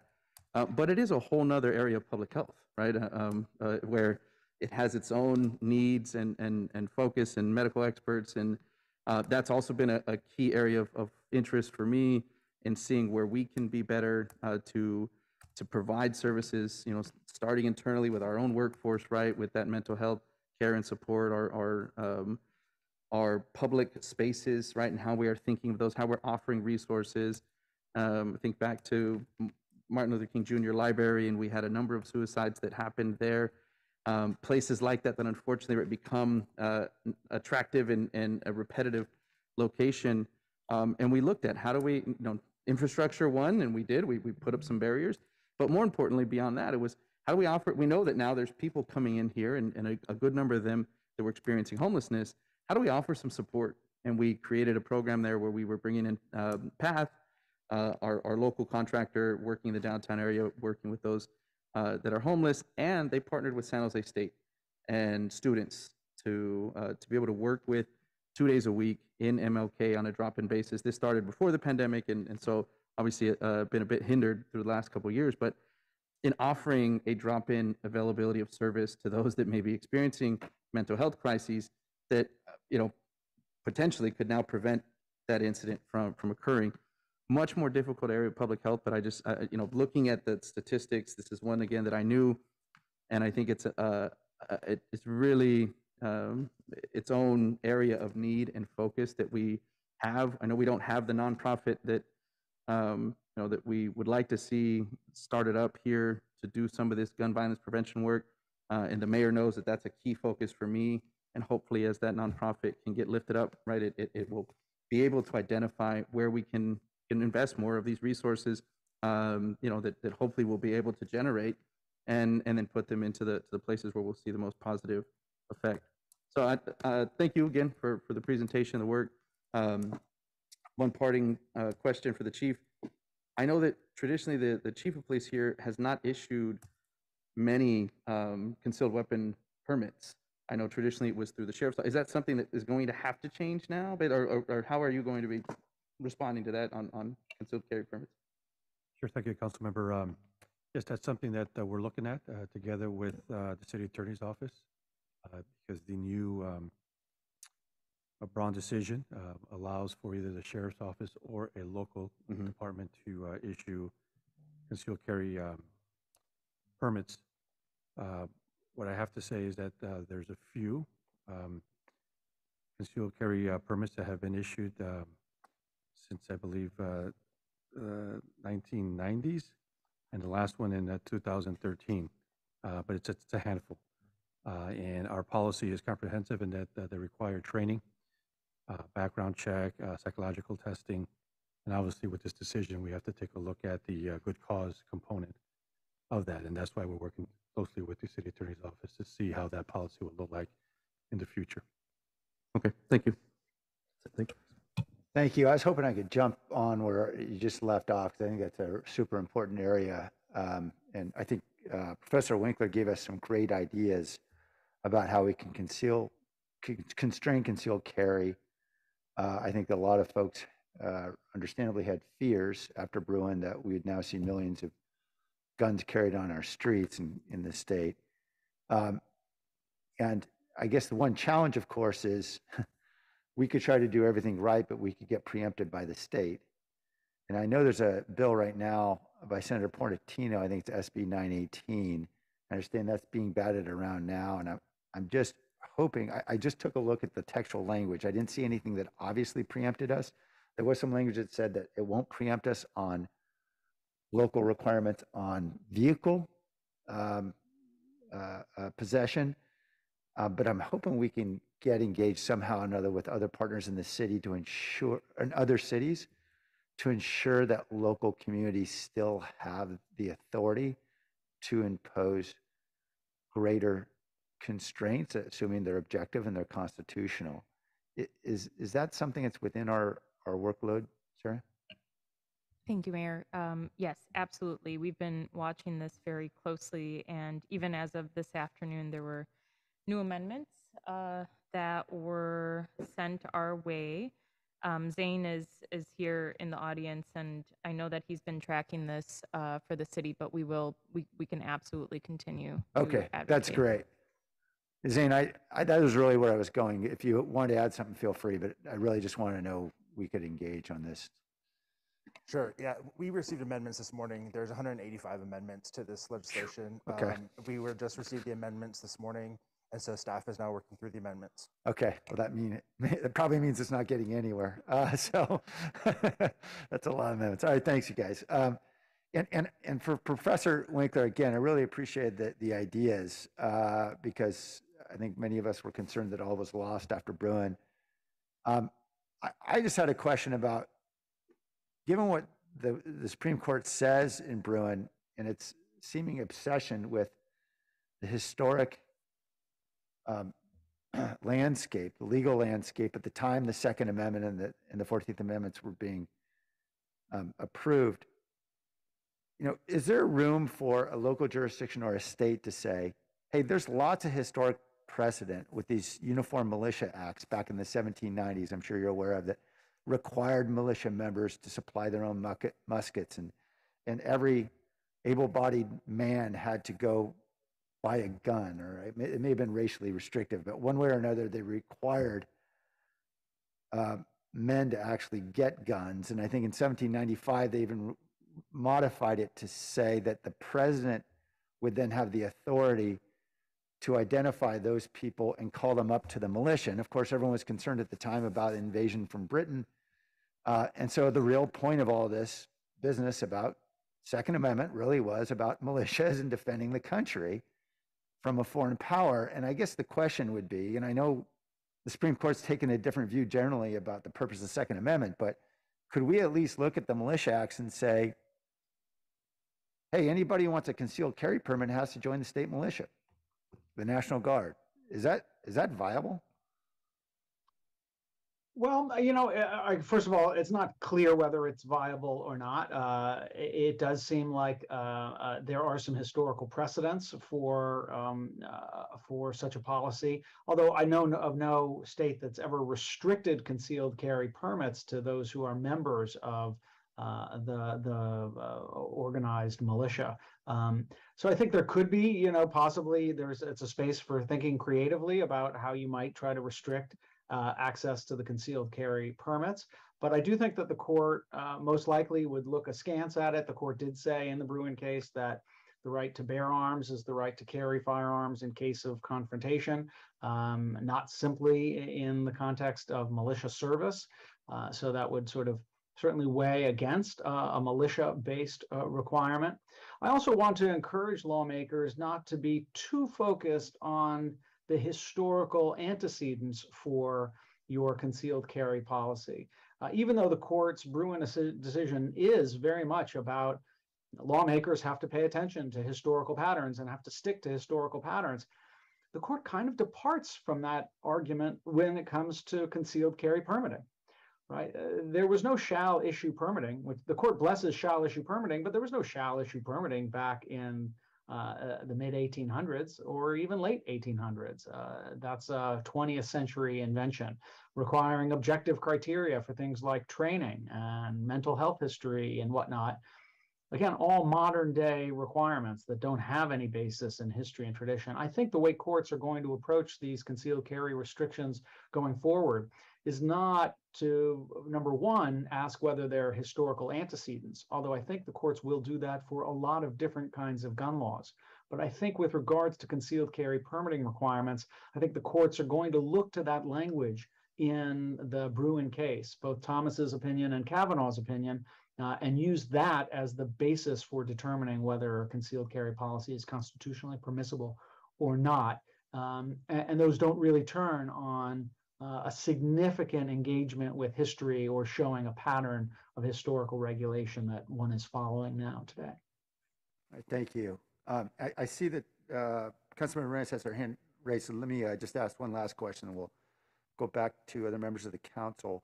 Um, Dr. Frattaroli, I think, raised, um, described in great detail the King County model. Um, and uh, I, I, look at the model we've got and all the great work that's being done between the district attorney's office and uh, the police department, the city attorney, and others around um, around what we can do within a lot of constraints on gun dispossession and and GVROs and others. I'm just trying to understand what's the difference between what King County has and what we have. If either Dr. Frattaroli wants to observe or offer her thoughts, or, or if any of our team wants to, what are we missing? Cops. More cops.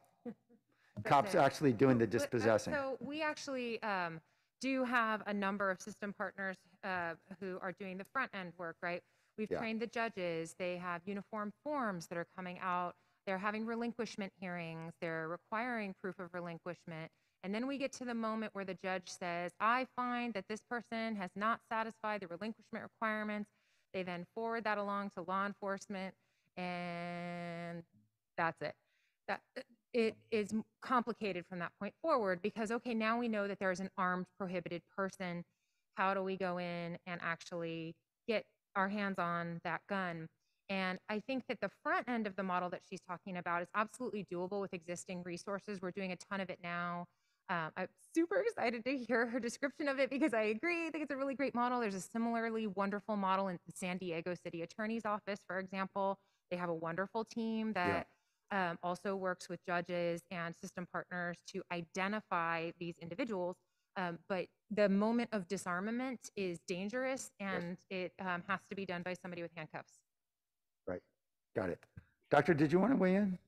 Yeah, so I, I completely agree with that. Um, the one thing that I would add is that in addition to what King County has that I didn't hear the lieutenant talk about, is that uh, civil protection orders of different sorts that allow for gun dispossession are sort of lumped under this umbrella coalition. So um, it's not just about gun violence restraining orders, it's also about domestic violence restraining orders. So having that expertise concentrated in that team allows for better efficiencies, both, both on the front end, um, but also on the back end with regard to that dispossession. So just bringing all of those dispossession opportunities under one umbrella team is, is a difference also that I would highlight. Great, thank you. And I sensed we were doing that. Am I, am I wrong? Yes, Mr. Mayor, thank you for your question. Yes, we are doing both. We do, uh, when available, I want to highlight what Marissa said. We need more people to be able to do more, Yeah. right? Yeah, Um, but when we can, we do. always our challenge. Yep. Okay, thank you so much. All right, Councilmember Arenas?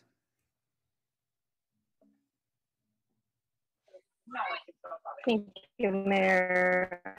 Um, I just want to thank everyone for their presentations and um, for the collaboration that is obviously happening behind this, um, the scenes, and we get to just benefit from all the really great news, even though there was a, a, a lot of terrible things happening. There is um, some wonderful partnerships and collaborations, and I think we need to really focus on that and continue to build on those. So, thank you for for all the work. Um, my question is, and it's going to be no surprise to anyone, I'm going to ask about intimate partner violence and how we are uh, tracking the patterns around um, those who are using guns uh, either um, in an intimate partner uh, um, dispute or incident, and those who and, and may have not discharged that, that weapon. And in incidents that were discharged, um, you know, we, we saw at the beginning, at the beginning of the summer, how um, children lost their mother um, in the north part of San Jose.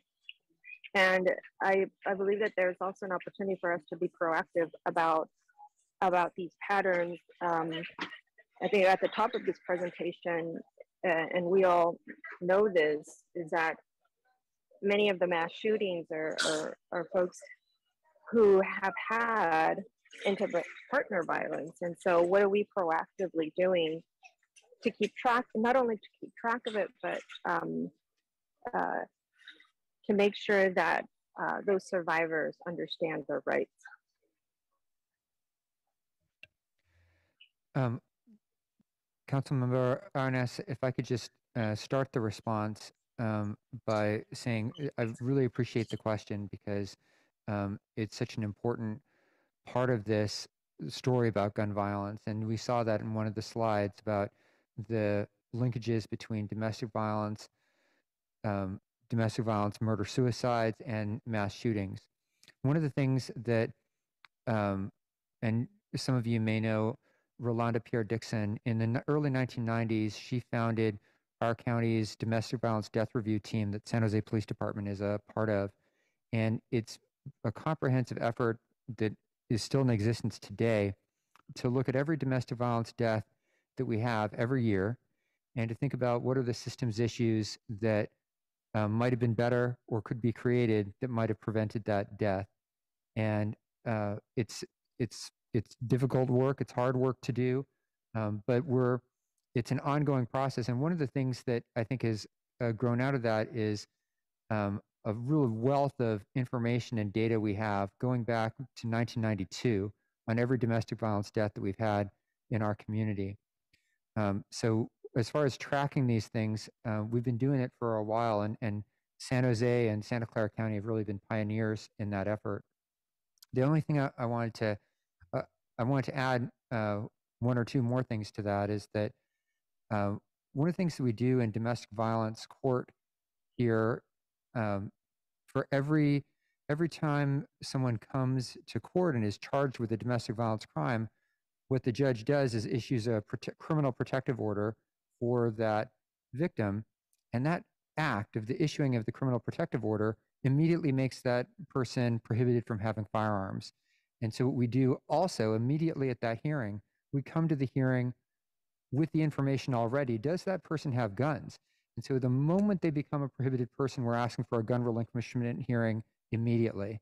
And it's that timeliness, I think, that um, uh, San Jose Police Department was talking about in their presentation that is so key is that you want to, from the moment the person becomes prohibited, immediately start the process of relinquishment.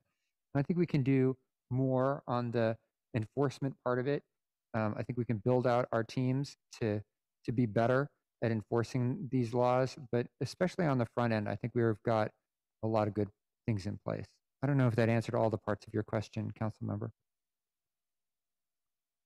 Uh, thank you. It, it, does satisfy a portion of my question.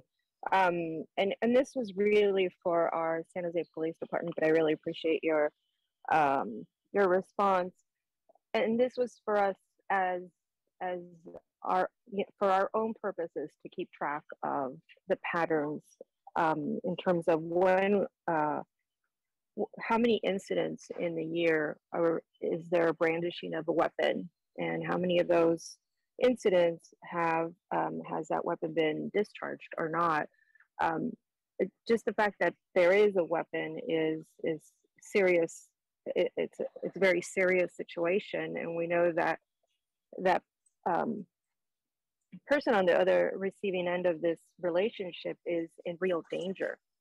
Um, and so this this is all leading to what what do we do proactively for those survivors, knowing that these um, knowing that uh, once somebody has a weapon like a gun in their possession, um, there's a very high likelihood of, of that gun being uh, eventually used. And so um, I know that we we just secured some analysts earlier in our budget season, so I wanted to hear maybe from Lieutenant Lieutenant Donahue or, or Chief, um, how, how are we and how are we preparing ourselves to? How are we making sure that we're going to um, manage these patterns in a way that we can hopefully? Um, and I've heard this this this expression uh, throughout this presentation from some folks to to catch some of this upstream. Thank you for your question, council members. This is uh, Steve Donahue from Research and Development. So I, I want to talk about 15 different things, but I'm going to try to boil it down. Sarah looked at me and said, please don't. Um, so here's what's happening with our department. First off, um, back back in uh, February, I reported out to the Public Safety, Finance, and Strategic Support Committee the use of firearms during domestic violence incidents in 2021. So in 2021, we had 2,962 incidents of domestic violence without a firearm and 24 involving a firearm.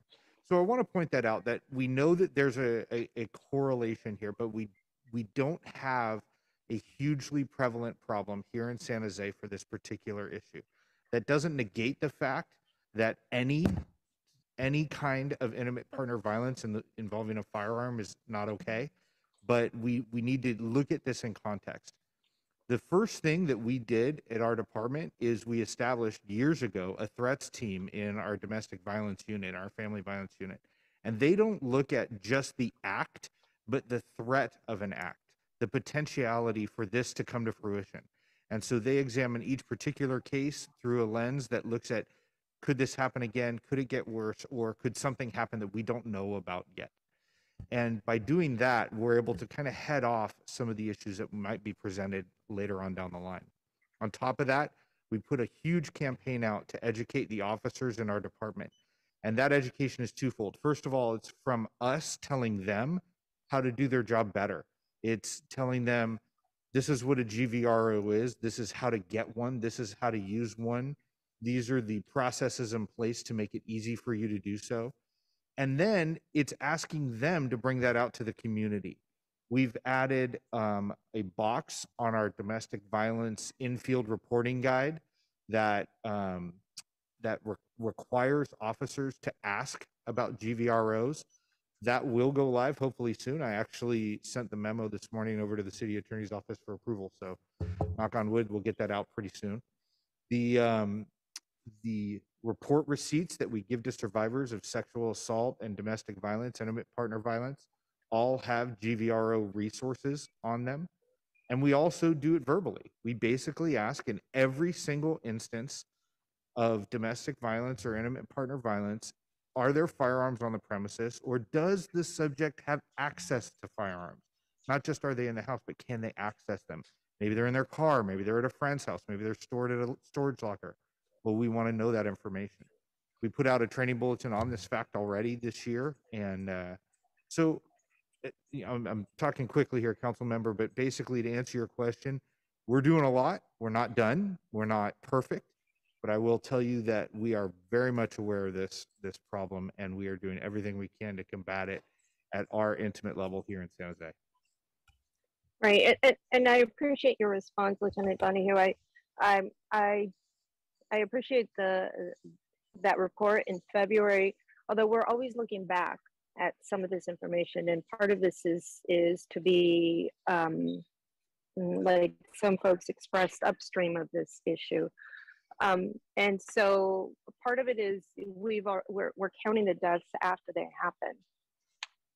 Um, and whether those are 24 or five, they're they're those are uh, absolutely underreported in terms of of what is happening in, in that household throughout that whole year and what those children, um, if there are children in the household, what they're witnessing and, and the cycle of abuse that continues to happen. And so for me, um, uh, this is part of what I would like to see in our San Jose Police Department. This is maybe separate from this conversation now, but I think it's it's a good opportunity for us to bring it up, and that is to also um, look at these patterns of how you know, if there are X amount of uh, uh, uses of a firearm within an incident of domestic violence, that those folks are you know that there is something a little bit more proactive other than with our um, service providers in terms of bringing those folks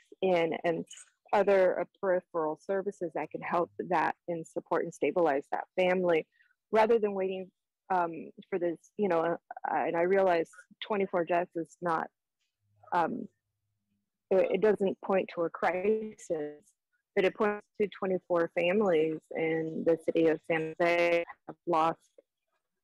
Um, typically, it is a mother that, that is in that um, position, or that they've lost both parents because it's a murder suicide. Um, and so, this is this is a great um, launch pad for me to for us to continue to talk about the analysts that will that are going to go to um, some of some of our investigative units and how do we use those analysts to continue to be um, upstream um, of this information rather than looking back and seeing what those patterns are but in in in uh, current time being able to be um, proactive i know we can't per and Councilmember- intervene in all of uh, the households in San Jose, but it is part of what we need to do in order to take a look at the patterns and see the bigger picture. I hear you. Uh, I hear you. Um, and I'm I'm actually done. Um, but this I think No, this is actually, also Councilmember, important to, to talk about in terms of data. hmm Councilmember, I'm sorry, I, I didn't mean to talk over you. I actually wanted to uh, correct a miscommunication. I, I, I think uh, there was a misunderstanding. There, there were not 24 deaths. Lieutenant, did you want to describe? Uh, Thank you, sir. It's 24 incidents in the, ca- in the fiscal year of 2021. There is, there's been six firearm-related intimate partner violence deaths between 2017 and 2021. That was 24 incidents, not the same as deaths. Okay. And then, um, Oh, I apologize. I apologize. I, I misheard that. Um, we, we also uh, wanted to I- mention that we have a new family violence analyst coming on board who's going to be able to help us focus on the lethality assessments and those threats that we find on the back end of family violence Mhm. incidents. hmm I no, I appreciate that. That's something that that we definitely um, have been fighting for for for some time. Um, because if we can't see the bigger picture, we can't um, sort some of these details out. The the other piece that I I'd like to also bring uh, some light to, and this is part of what we've been seeing in the Mayor's Gang Task Force, is that there's an increase in female participation um, in uh, violent behavior, and uh, research has shown that that typically the reason why females um, uh, are involved in the juvenile justice system is because of sexual assault, and so I think there's also an opportunity for us to take a look um, at, at how this is impacting um, women and men differently. Um, it, men are the ones that are using the guns, and typically, um, other than mass shootings, maybe uh, women are on the other end, the receiving end of those of those guns. And so, I think that we need to be proactive with with the gender-based programming that we have for youth intervention. And lastly, I just want to say that there is some really wonderful work that's happening out of our PRNS, our Parks and Rec and Neighborhood Services, and Lighter Library Department for a master, um, uh, a, ma- a child and yet master youth plan that is not only taking a look at the continuum of services internally in the city of San Jose and the age brackets that goes along, the different ages that go along with that, but we're also looking at they're also looking and we're, we're going to do this through we're doing this through NSE our neighborhood services and education committee. We're looking at the whole system and how the county how we fit into this continuum of services uh, for for children and youth. And so i think this is uh, a really good opportunity for us also to talk about gun violence Okay. and integrate that into the leave it there. master plan Thank you, Councilmember. We're going to leave it there because uh, we're, we're out of time. I, I really want to thank both all the experts who offered their great insights from afar uh, and the other coasts, uh, as well as our experts right here at home who've been working so hard uh, to help reduce gun violence. We know we have a lot of work to do, but it's really impressive what's already being done, and I just want to commend that. We have several members of the community who may like to speak. Claire Beekman? Hi, Blair Beekman. Uh, thanks for the meeting here. Um, boy, he kind of went, had a very nice uh, overview of, uh, a constructive overview of the different ways to talk about uh, gun use in the future of San Jose. I hope that it can be examples of uh, constructive purposes uh, in how a city government works to address its gun issues, and that can be taken to heart by all parts of our community. Perhaps a bit more uh, discussion could have been on domestic violence. Uh, Thank you to Councilperson Arenas and to the concepts of uh, oversight. I think to, to have offered the concepts of how oversight could play into all of this into our future would be an important element that would please, uh, you know, uh, certain parts of our community that we're trying to uh, we're trying to bring in a, whole community process. I think uh, you you obviously built the constructive, really good parts you've shown today. Thank you. Uh, good luck how to really bring in that other part of the community. I think it's really important how we address, you know, the Trump era and what they have uh, put to ourselves and what they want, what they how they want to be a part of the process. It is really up to us how to bring in that process and make it a, a shared process. And I think we can do it with progressive, uh, peace-loving ideas uh, that are that are well reasoned. And and if we do that, that's how we bring in a whole process. Good luck to your efforts to do that and this sort of item. Thanks. Back to the council. All right, thank you again uh, to all those who uh, committed their time so generously, and thank you particularly to Sarah and Peter for, for organizing this really impressive panel. Uh, The meeting's adjourned.